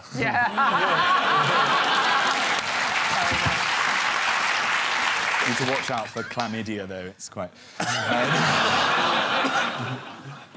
no, I've never dated a clam before. No. Pulled a few muscles. Um, um, but if nothing else, this Yeah. story brought out a certain solidarity amongst headline writers. What do you think the Independent, the Mirror, and the Mail all went with for their headline? Clam dead after 500 years. No, that wouldn't be very good, would it? Shuts. Clam shut. Clam- Clam, shell, clam shut, clam. Clam- Tears, cry. Ah, ah, yes, yes, yes. Clam claps mime artist. No! Are you taking the piss? You know what No, it is now. no. No. You do! This is what stupid people look like! I've never seen anyone worse at charades than you. No, that is, that is a very good clam mime. We got the clam Oh, bit. sorry. the sad bit, the sorrow. What would happen? Oh, damn! It's such a. The, the shame. Crocodile. What a shame! Calamity! How calamity, Ian! No, that's terrible. Oh, no, Ian, it's obviously terrible. It's a you said it's terrible? I'm not mad, am I? What were You all got that. What? What were the tears for? How Right. would that lead us to calamity as a That pun? was useless. Right, you're all Yeah. going. That- You can be the panelist now. Come on. it's now time for the odd one out round. Just one between you this week. Hmm. Ming the mollusk, Glenn Greenwald's phone, Burt Kwouk, and the E. coli 0157. Well, I think it's called Ming the mollusk because it's 500 years old and dates back to the Ming dynasty. And scientists found it, didn't know how old it was, killed it. Killed it. Uh, Yeah. And then discovered it was the oldest animal that I think has ever lived. Oh, really? Yeah. Uh, so you can get ill from eating those. Yeah. E. coli can make you ill. Absolutely. Um, Um, Burt Kwouk, um, is, it, is, it, is it the actor or is it the part he's playing there in the Pink Panther films as Cato? it's the Um, actor. it's the part. It's He's the playing part. Cato. Give us a clue. Yeah. Containing the answer. oh, cold. Cold. Oh, right, OK. Um, yes, um, Cato was hidden in a fridge. Yes. He was hiding in a fridge in one of the films, shot in the dark, I think, and he comes, bang. So it's about people being put in fridges. The mollusk was put in a, should have been put in a fridge and it would have survived. Uh, Cato jumped out of a fridge, he was all right. The E. coli bacteria is all right if you freeze it. And uh, it's the bloke with the phone. Um, his phone You- was the fridge in a thing was right. Everything else was wrong. but I'm still going to give you a point because I feel like we should move on. No, but the other one out was Green, Glenn Glenn Greenwald's phone. No, it wasn't. Stop taking over. You can do that on your radio show, which is on at You've 3:30. got a radio show? Yeah, Mondays. Mondays, 2 I'm going to write that down. The odd one out is Ming the mollusk. Ming the mollusk. All the others have survived a stint in the freezer, except for Ming the mollusk, who died. Ah, okay. Um, Glenn Greenwald, Yes. the former Guardian journalist who was involved in the publication of the intelligence emails leaked by Edward Snowden, regularly used to put his phone in the freezer. Why would he do that? He was worried it would be bugged. Or security, yes. There's an even more effective place you can put your phone to stop anyone hacking it. Any ideas? Is that News International HQ? a martini shaker. Oh, OK. Um, e. coli 0157, one of the nastiest strains of E. coli, can survive in the fridge or the freezer. Um, how old were you when you first got colonised by an E. coli bacterium, Janet? Funnily enough, I had amoebic dysentery when I was seven. And I was actually in Hot Spice. How did you get that? I thought that was... I got it in Fulham. I grew up quite near you, Paul. Yes. I think it's something you sent from Fulham Palace Road to my Oh, road. I used to send out those parcels all the time. Ming the mollusk was an ocean quahog, a type of clam. How easy is it to date a clam? Uh, well, you have to get them drunk first. there's, there's an app called Chowder. Yeah. need to watch out for chlamydia, though. It's quite. Um, no, I've never dated a clam before. No. Pulled a few muscles. Um, um, but if nothing else, this Yeah. story brought out a certain solidarity amongst headline writers. What do you think the Independent, the Mirror, and the Mail all went with for their headline? Clam dead after 500 years. No, that wouldn't be very good, would it? Shuts. Clam shut. Clam, shell, clam shut, clam. Um, Cheers. Cry. Ah, ah, yes, yes, yes. Clam claps mime artist. No. no.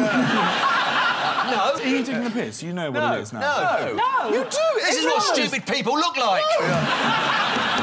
I've never seen anyone worse at charades than you. No, that is, that is a very good clam mime. We got the clam Oh, bit. sorry. the sad bit, the sorrow. What would happen? Oh, damn! It's such a. The, the shame. Crocodile. What a shame! Clarity. How clarity, Ian! No, that's terrible. No, Ian! It's obviously terrible. It's a you said clarity. it's terrible? It's I'm not mad, am I? What You the all tears? got that. What What were the tears for? How Right. would that lead us to calamity as a That pun? was useless. Right, you're all Yeah. going. That- You can be the panelist now. Come on. This is the most powerful number. Seven. Is that right? They did a survey. I, I must have read this somewhere. They have. They've done a survey, and seven is the world's favourite number. Ah, favourite number. Yes. Uh, Alex Bellos asked 44,000 people to submit their favourite number, and seven proved the most popular. He describes it as the loner, the outsider, the Nigel Farage of the number one. Shall we go through the top 10 world's favourite numbers? Yes. Yeah. What's at number one? Number ten. Sorry. So, number 10, what do you think? number nine's number ten. No. Number eight's number ten. No. Number ten's number ten. No. Number one. Number one. No. Two. No, all numbers, all numbers are, in, are oh, available. Oh, 128. No, at number 10, the 10th most popular number is, in fact, 11. at 9. It's Any- ten. No. 40. It- no. 21. No. 100. At number 9 is the number 2. 2. the most popular number in 8th position is 6. At 7, the 7th most popular number is 9, and the 6th most popular number is 13. OK, here's the top 5. This is going to be on Channel 4 for a whole evening. There'll be some talking heads in a minute. What do you think of six? Yeah, love it. I've always liked, I've always liked five because it's a working class number. That's what I like about five. Well, I think that three, F, F for me, I mean, when I was first growing up, I thought three was a magnificent... Oh, oh sorry. I've started auditioning. I'm sorry. Where am I? But let's firstly complete the top five. Yeah. At number Yeah. five is five. Yeah, And number four is Four. four. Yes. And number three is eight. Oh. At number two One. is three. Three. The magic number, and of course, seven is the top Yeah. one number one. But Yeah. the study did ask people to describe the numbers between one and ten. Two was thought to be cautious, wise, fragile, and sympathetic. How do you think three was described? Nostalgic, sexy, unreliable. Three is pretentious. Oh, God. Uh, four, according to the people who responded to the survey, is laid back and a rogue. yeah, this is absolute bollocks, isn't it? Nigel? Nigel Farage. Farage. According to the Daily Telegraph, in musical terms, a song is an unlikely combination of choral and rap, known as crap. I think I'd rather like that. What? Zadok. really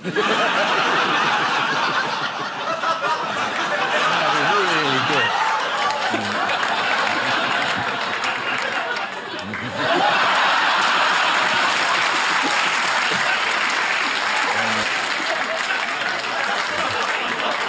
Never guess what I just imagined. I imagined that was empty. It's the best reaction I've ever got out of Paul. You've never said before.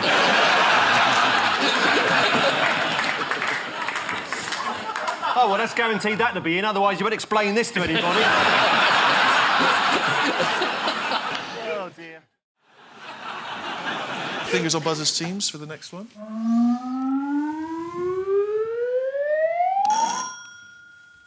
Have they shut the Humber Bridge to stop people going to, To Hull? stop people going to Hull. Yeah. They don't want any more tourists. They've got enough. Maybe they're trying a new slogan, Hull, one letter different from hell. Could be it, couldn't it? Well, you're in you're in the right neighbour. Both of you in the right neighbourhood. John Prescott's from Hull, always he's MP for Hull. Yeah. That's why they just close Hull. Yes. He's not an MP anymore, is he? Other than being a... no, he's member of the House of Lords. Oh, right. He's a lord in Hull as well. Is he the Lord of Hull? Well, I don't know. I am the Lord of Hull. it is to do with Hull, but it's actually The Economist magazine. They have a very specific view on Hull. It should be shut down. Is that what they... Absolutely right, yes. The Economist magazine thinks that the city should be closed down along with Burnley, Middlesbrough and Hartlepool. closed down? Just closed down. Why? The Economist described any efforts to save struggling northern communities as misguided. you lived in Leeds, didn't you? Uh, I was born in? Leeds. You born in Leeds? Yeah. Should they close that down? Leeds is doing very well. It's it doing- thriving. Have you heard of Leeds, Ian? Yes. Yeah. There's a football team in Leeds, isn't there? There is. Leeds United. yeah. You see? Local knowledge. Paul, any view on Leeds? So good they named it once. yes, uh, this is The Economist magazine's plan to shut Hull. Grim, dull, and uninspiring. The Economist comes out every week.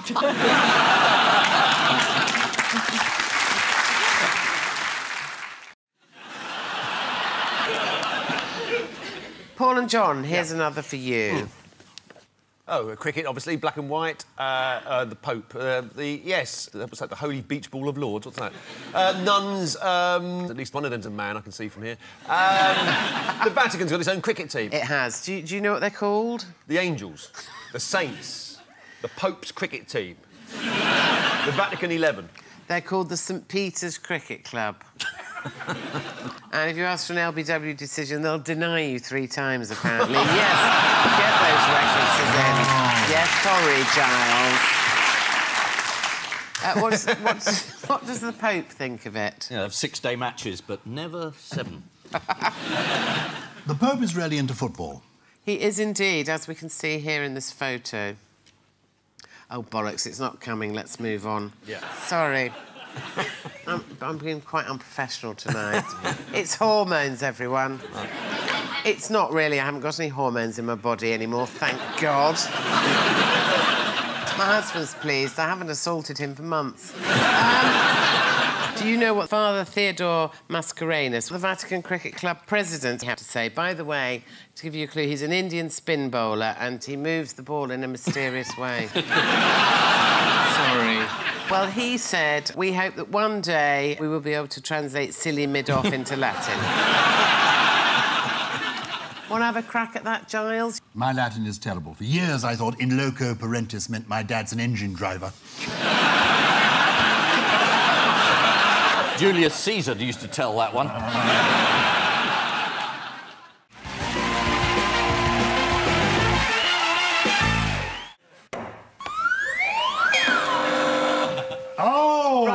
Marcus. There's a woman being inflated on the beach. Uh, yeah, that's the uh, the girl who was accused of being a Russian spy because Yeah. she went out with a politician. They found she wasn't uh, a Russian spy; she was just a Russian. Yep, you're quite right. They This thought is- she was a spy. She used to go into the House of Commons canteen and say, "These sausages are rather cold for this time of year." So there's a sort of, you know, the, the, the seagull flies high, high above Krakow. It sounded like secret messages. I think they actually thought she was a spy because she made a beeline for a member of the Liberal Democratic Party. So not thought- very well informed then. No. they thought, what other reason could there possibly be? It's phoning the Kremlin, going, "They are going to make corduroy compulsory." Indeed, this is Katia Zatuliveter, who had... I know, you bet you've practised that, haven't you? Конечно. Yeah, it was very good. That's all my Russian. That's very no, good. You just learned her name and that was it? No, конечно. I just said of course. Bless you. Oh, was of course as well. Blimey. Здравствуйте. Меня, зовут Кирсти. Как тебя зовут? Oh, very good. Oh. Hold on a minute. I just want to ring MI5. Yeah, exactly. You fell for the oldest trick in the book. We invited you onto this show. This show's not going out this week. These are cardboard figures. That's not Giles Brand, that's a puppet. Ah. For the Muppet Show. it was. Now for the Missing Words round, which Yeah. this week features as its guest publication Reg Transfers, the magazine for the world of personal number plates. and we start with Simon Cowell reveals what? Reveals his number plate. You probably can't see Simon Cowell's number plate for all the cigarette smoke billowing around his pregnant girlfriend. did, did you see? There were pictures of. Did you not see that? There were people smoking. There's a picture of him in a car, fagging away, pregnant girlfriend in the passenger seat. Unbelievable. I thought he was evil before, but... Uh, Simon Cowell reveals his baby name choice is Simon. Oh. The baby's due in February. Simon Cowell's already got a high chair, some tiny clothes, and a booster seat. All he needs now is to get some stuff for the baby. Next, Cornelius Gurlitt has been hiding what? Is it complete as it is? Just been hiding. That's the Nazi art. Masterpieces, yeah. I will give you that. Uh, Cornelius Gurlitt has been hiding secret Nazi art stash. Yeah. All the paintings were confiscated in the early 1940s, or as art historians call it, Hitler's angry period.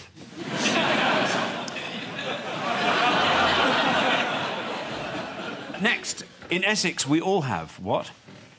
Uh, automatic weapons. Uh, uh, an intrinsic knowledge of our local area. Personalised number plates. Personalised plates. Yeah. There we are, yes. In Essex, we all have personal plates. I wanted my initials on my car, but I didn't fancy splashing out in a personalised number plate, so I just bought a second-hand AA van. Brilliant. Next, police dogs will receive what? I know this. Go on, then. Pensions. They're going to get pensions. Pensions? Absolutely right. And rightly so. Yeah. Rightly so. Yeah.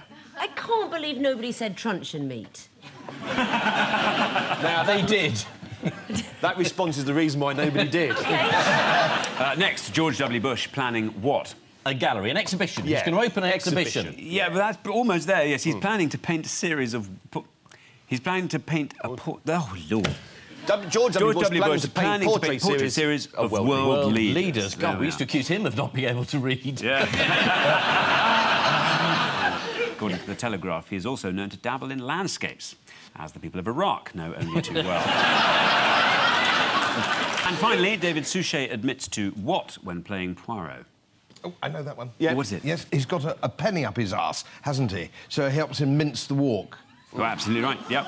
David Suchet admits to clenching a penny between his buttocks when playing Poirot. Which he That's- learned from Laurence Olivier, Yeah. who you're- I think had more than pennies up his arse at one stage.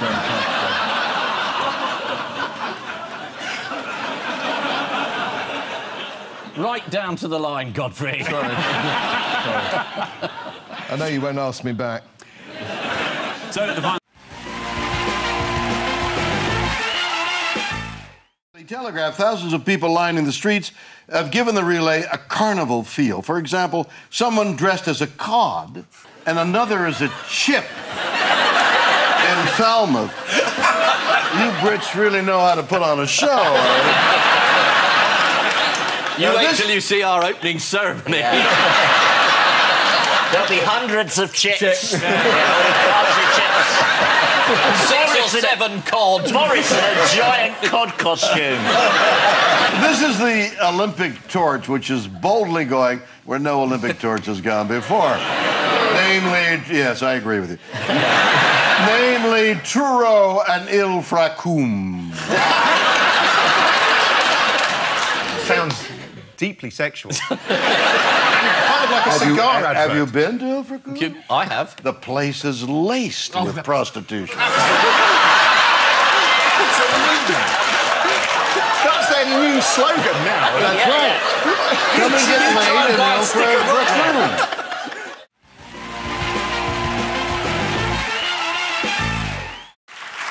Ian and Max, Yes. here's another for you. Oh, good. It's a train. Mm-hmm. Oh, that's a proper train. that's the two heads. That's better than one.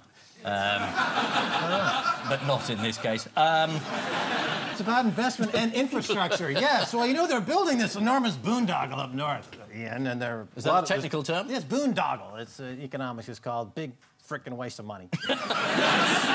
and uh, you know, if you really want to connect the country and get the economy going, give everyone free access to broadband. Yeah, I think I'd prefer to take the train. You can't get to Birmingham fast enough. You can in your virtual self. Impossible.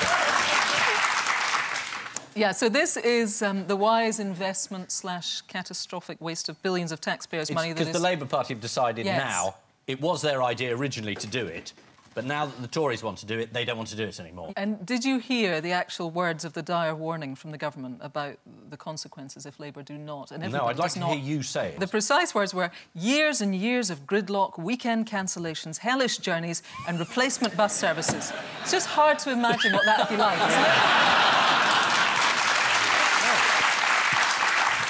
Do you know this week's figure of how much it's going to cost? I think it's 130 zillion. The government's current budget is 50 billion, although Mm. one independent study says it's going to cost 80 billion. But you, you've got Mark Carney now as the Bank of England. He can just print it. Just print 80 billion. Just print it. That's fine. That's what he does. That's what he's there for. Print more money. Doesn't matter if it's 100 billion, 200 billion. Just print. No downside to that? Uh, well, unless you include inflation. as long as you don't mind paying extra for energy and food, it's okay. Just keep printing money. OK, let's have the train. Bail out the banksters. Bail out. Just print money. It's fine. You put the money in the train and take it to Birmingham. Listen, Max, one hour, 20 minutes to Birmingham. It's too long. I want like an hour. Too long. I got stuff to do in Birmingham. Very busy. Very busy man. I got concrete to pour. Yeah. Doesn't, doesn't pour itself, you know. It doesn't. pour itself. I don't care how many billions it costs. That shaves 20 minutes off of me getting to Birmingham and pouring concrete. Time now for the odd one out round. It's just one between you this week. A dog in Thailand. Scott Mann, MP, Judith Strang from Texas, and Damien Green. yes. Now, Scott Mann, colleague of Johnny's, Yeah. and I believe there was an incident where Johnny actually saved his life uh, from drowning. So I'm guessing Well- that he is perhaps the odd one out in that the other three all float.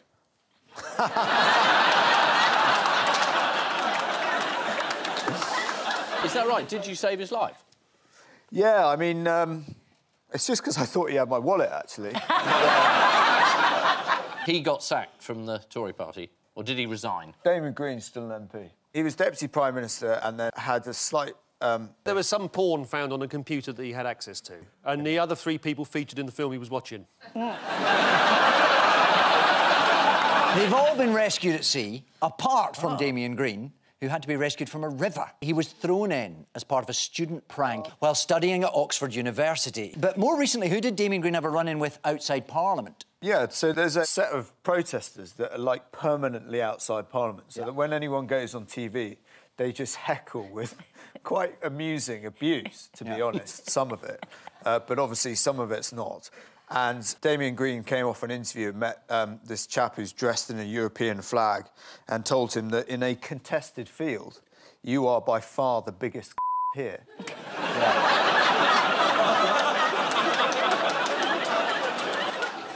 And, and, and he was right.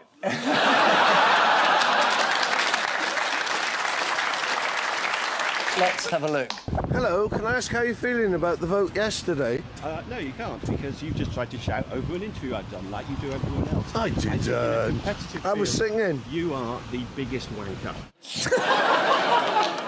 Where did this dog end up at sea? Australia. Hawaii. Same 5G company we're talking about. Not quite. It was spotted last week by oil rig workers in Thailand, 135 miles from shore. Wow. Who threw that stick? Wow. And finally, where did Judith Strang from Texas end up in the sea? On holiday, was it? On holiday somewhere? Yes, she was on a tour of the fjords. She was in Iceland. She sat down on some ice which had formed in the shape of a throne and was promptly carried out to sea.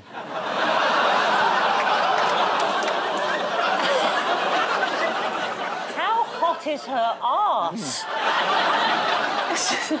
The iceberg incident happened a couple of weeks ago, after which the accident prone granny completed her tour of Europe with a trip to Paris, where she lit a candle in Notre Dame.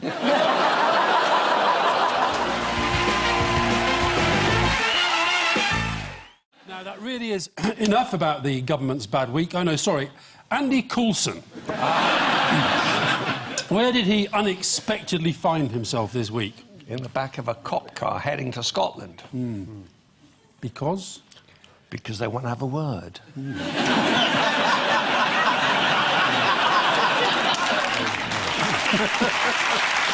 I, I had absolutely no idea that you were a gangster. And Andy Coulson. He's been arrested for perjury. Yes. During a trial where someone else was on trial for perjury. Yes.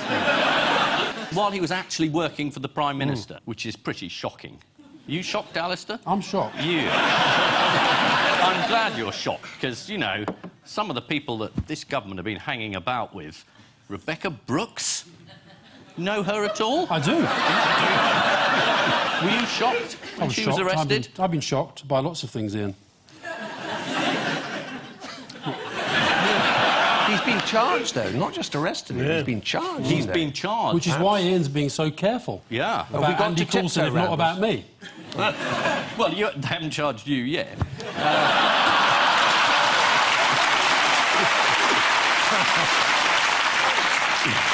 Is it, uh, is it, is it hot in here? In, in case anyone thinks I'm being gratuitous, I know that Alistair is going to be reasonable tonight because he told Leveson, I am robust, but I'm not a bully. so no matter what anyone says, you're going to be really reasonable. Tonight? No.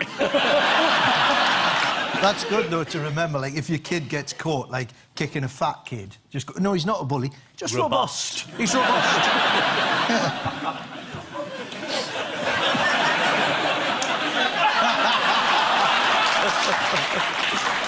It probably seemed like a good idea when you said yes. In a bid to make sure this never happens again, of course, Lord Strathclyde has announced he's going to do a rapid review into curbing the House of Lords' powers. I'll give you a bonus point if any of you can give me the real name of Lord Strathclyde. Bunty.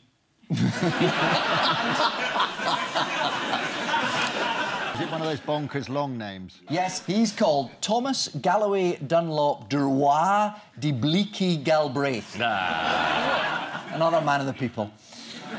Well, he's also got product placement in the middle of his name. yes.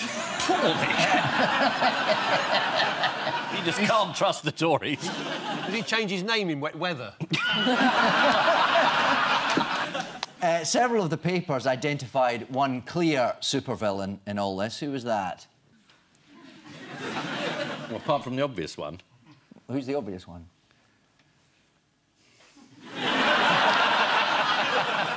Andrew Lloyd Webber. Yes. Mega rich musical gargoyle, Andrew Lloyd Webber.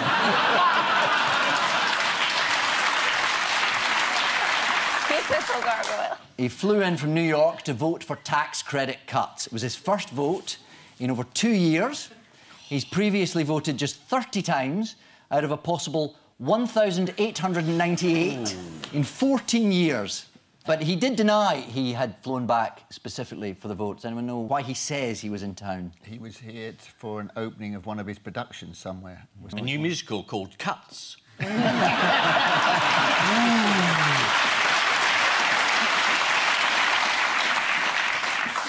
Yes, he did say he was in town to watch the revival of Cats, Yeah. the musical. Yeah. But surely he's seen that already. Uh, or maybe he's just got a bad memory.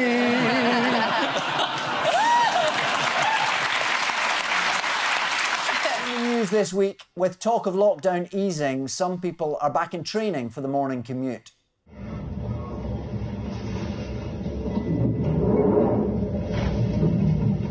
This train terminates at West Hampstead.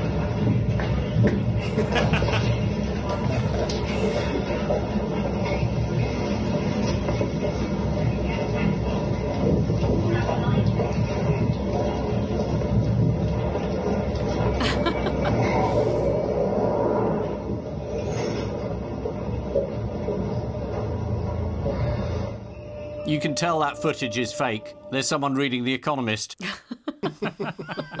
It's likely there'll be some government advice about the wearing of face masks. Would you like to see how the Belgian Minister for Face Masks got on when he visited a face mask factory? Mm, absolutely. Let's have a look. Let's have a look at this incredibly awkward moment. En dan is het kwestie van je mondmasker nog goed aan te doen. Chris, I'm sorry you didn't see that, but trust me, you could teach him a thing or two about how to put a face mask on. For the for the people at home, by the way, uh, what like I, I've had a lot of these videos just before we filmed. I had them described to me, so I've already done me laughing. Right. I'd also like to say as well, if it, I'm very aware that I might not, because I can't see the camera. I've got this little earpiece in, my gaze might kind of drift. And if it makes anyone feel awkward at home, just move to your left a bit.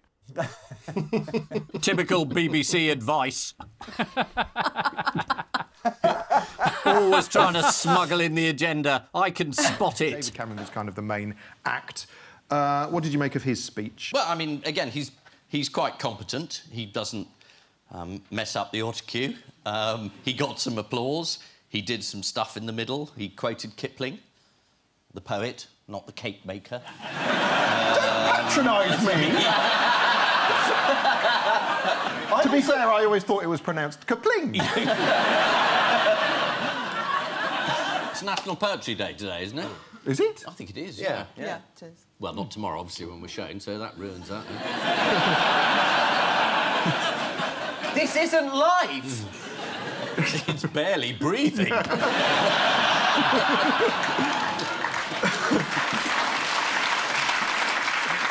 How did you feel about him having a go at your friend Jeremy Corbyn, Diane? Well, it's certainly not the kinder, gentler politics.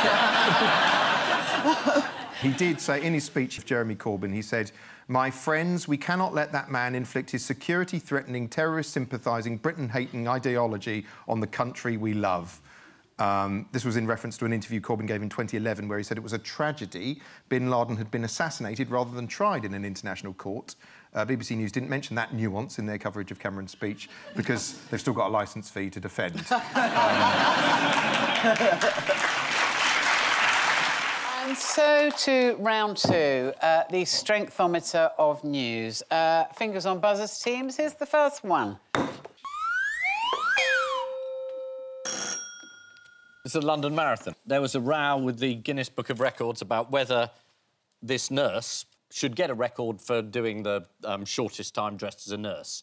And Guinness said she, she doesn't look like a nurse because I think the people at Guinness had perhaps been watching different videos of nurses than the um, training ones now on offer. And she rightly appealed this, and she now is the quickest nurse in the business. I mean, this is your area, so I mean, you must know. Well, yes, yes, it is my area, kind of. You held your Obviously not running. I did do a walk from Hull to Liverpool for sport relief. Yeah, that was pretty amazing because that was like 20 miles a day for a week. And, and they did tell me that uh, I would burn 6,000 calories a day. Unfortunately, I ate 9,000 a day. so- This nurse is called Jessica Anderson, and you were right. She was wearing trousers, OK? As you said, she was ineligible because that's not what... scrubs, wasn't Scrubs, that's right, yeah. Uh, according to Guinness, the guidelines said a proper nurse's uniform should include a pinafore and a cap. Uh, when did they write those rules? 1850s? Actually, the Daily Mail helpfully provided us with a photo of a marathon running nurse that falls within Guinness guidelines. Here we are. what actually uh, made them change their mind about her world record? Which didn't she appeal? She did. She pointed out the inherent sexism, and they released a statement saying, Our guidelines were outdated, incorrect, and reflected a stereotype we do not in any way wish to perpetuate, even though they just did. Fingers on buzzers, teams. Am I meant to be doing this again? I've kind of. Yeah. Oh, yeah, we've Yeah, still yeah. got a bit more of this, Yeah, yeah. haven't we? Thanks, Yeah, yeah. Paul. No, we like seeing it. Oh, what? Do you? Yeah. Oh, well, that, was, that was completely Oh, out of sync. Yeah, that was No, wait. terrible. Hang on. Hang on, hang on. No, no, no. That, that's, That have to was do that. quite bad. That Should we was quite again? bad. You'd have to do it all again. This is a shambles. Hang, hang we on. might as well What's going on. Steve? we can't replace them now. What are you talking about? Too late. Put the hammer down. My husband often says that to me.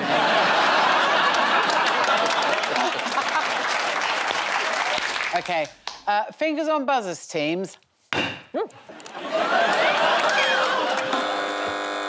Uh, this is a story about someone who stole a piece of Stonehenge. And you'd have thought they would have noticed. I mean, look, there he is. Yeah, yeah. Uh, wasn't very subtle about it. Uh, he kept it and he took it to America and he's, he's finally returned it because after all these decades, he's got bored of a bit of stone. Uh, his name's Robert Phillips. He stole it in the 1950s when a restoration team drilled metal supports into some of the stones to keep them in position. He's just turned 90. Kept it as a memento. Why is he returning it after 60 years? Was he sick of cars slowing down in front of his house to have a look? Uh, he was worried about what would happen to it after his death. The sarsen stone. Don't ask me what a sarsen stone is. It just says it's a It's type one of the stones. Mm. They're different types. Mm. The standing ones and sarsen ones. Mm. Top ones. What a dork. You're not denying it. That's a completely different type of stone, which is uh, around the perimeter. Do you like Stonehenge? I love Stonehenge. I used to go there when you could go up there and help in the building. We start with the bigger election stories of the week. Ian and Romesh, take a look at this. Trying to get out of the country. no, this is the race to get the first result in while people are still awake. So a woman can't count. Just devastated. Ed Miliband looking chilled out. They're shouting at him. Oh, so relaxed. You're an immigrant? No. This is the throne. The legend. Just This, this way. And it's the winner. I hate you. Oh, there's balance. These are all people who've gone. Liberals, Hughes, poor old Danny Alexander. Have I won? No. No, he stayed in as punishment. and uh, then it's goodbye.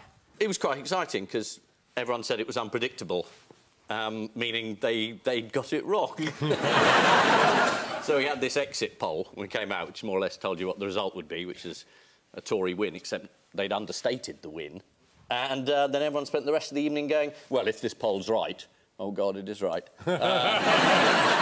Uh, just, I'm just going to step to see if the exit poll's right. I, I know. I've, I've stayed up for no reason. Okay. They had Paddy Ashdown on at the beginning of the evening saying, if that exit poll's right, I'm going to eat my hat. Typical Lib Dem. The end of the evening, they gave him a hat. Did he keep his promise?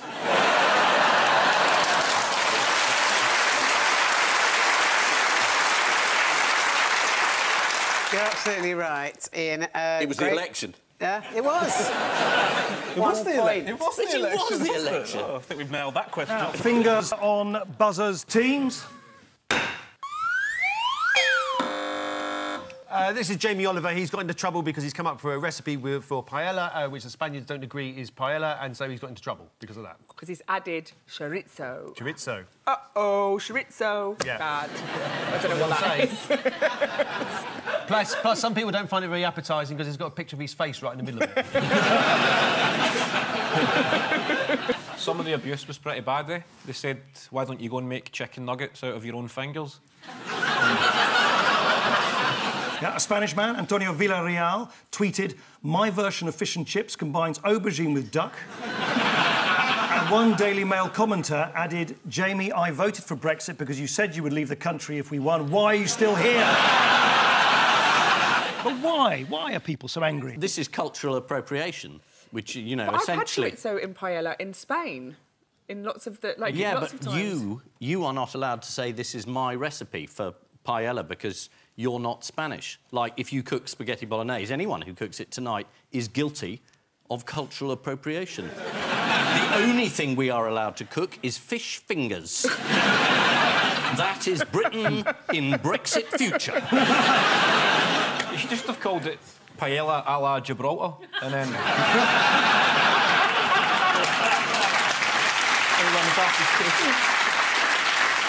no, why, your wife is Spanish. Yes. What would, what would happen if you put a bit of chorizo in the paella? Oh, well, there, there are very strict rules what should and shouldn't go into uh, a paella. And, and Finally, something Nick's expert on. Can anyone tell me what Jamie has named his newborn son? Is it food related? Yeah, yeah. Basil. Oh, Non-stick frying pan. George Foreman. What's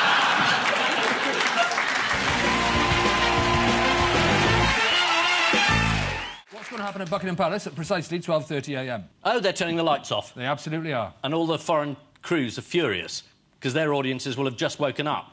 So when all the American broadcasters want to stand outside Buckingham Palace and say, Here I am live, It's going to be completely dark.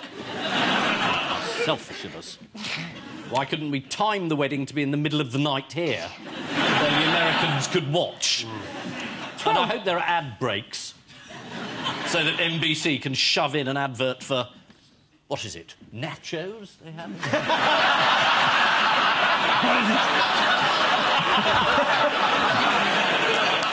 According to the Telegraph, Kate has invited her very first boyfriend, Willem Marx. I like Williams that are too posh to bother with the E bit. It's They're very all. Willem. What's your name? Is it, is it Bill, Will, William, Willem? There's even a video wedding book for the public to sign. So let's have a look at some of the messages of goodwill and affection that have been left so far. Royal wedding will cost in one day half what the UK spends yearly on help for the unemployed. Oh, lovely. May their long and happy marriage be the last one of the monarchy of the UK. Vast numbers of people couldn't give the tiniest shit. Do I need to do this number six ones? Helen Mirren. Yes, sorry. Oh, that's right. nice. We'd all like to do Helen Mirren, but we're doing a bloody quiz show, mate. That's what we're doing here. Helen Mirren played the, the Queen, of course. Oh, right, yes, yeah. And here she is uh, talking about John Gielgud on BBC Breakfast News. So that always inspired me. He always took kind of edgy choices. Yes, and he swore a lot, as I remember. And that, and that, there was well, in that sort of wonderful voice you had. Exactly. that, that was you the little comedy. shit. He Oh, said, oh, no, you can't No. say that. Take that back. That never happened. Well, it was in the original film. If you, if you heard that, we're very sorry.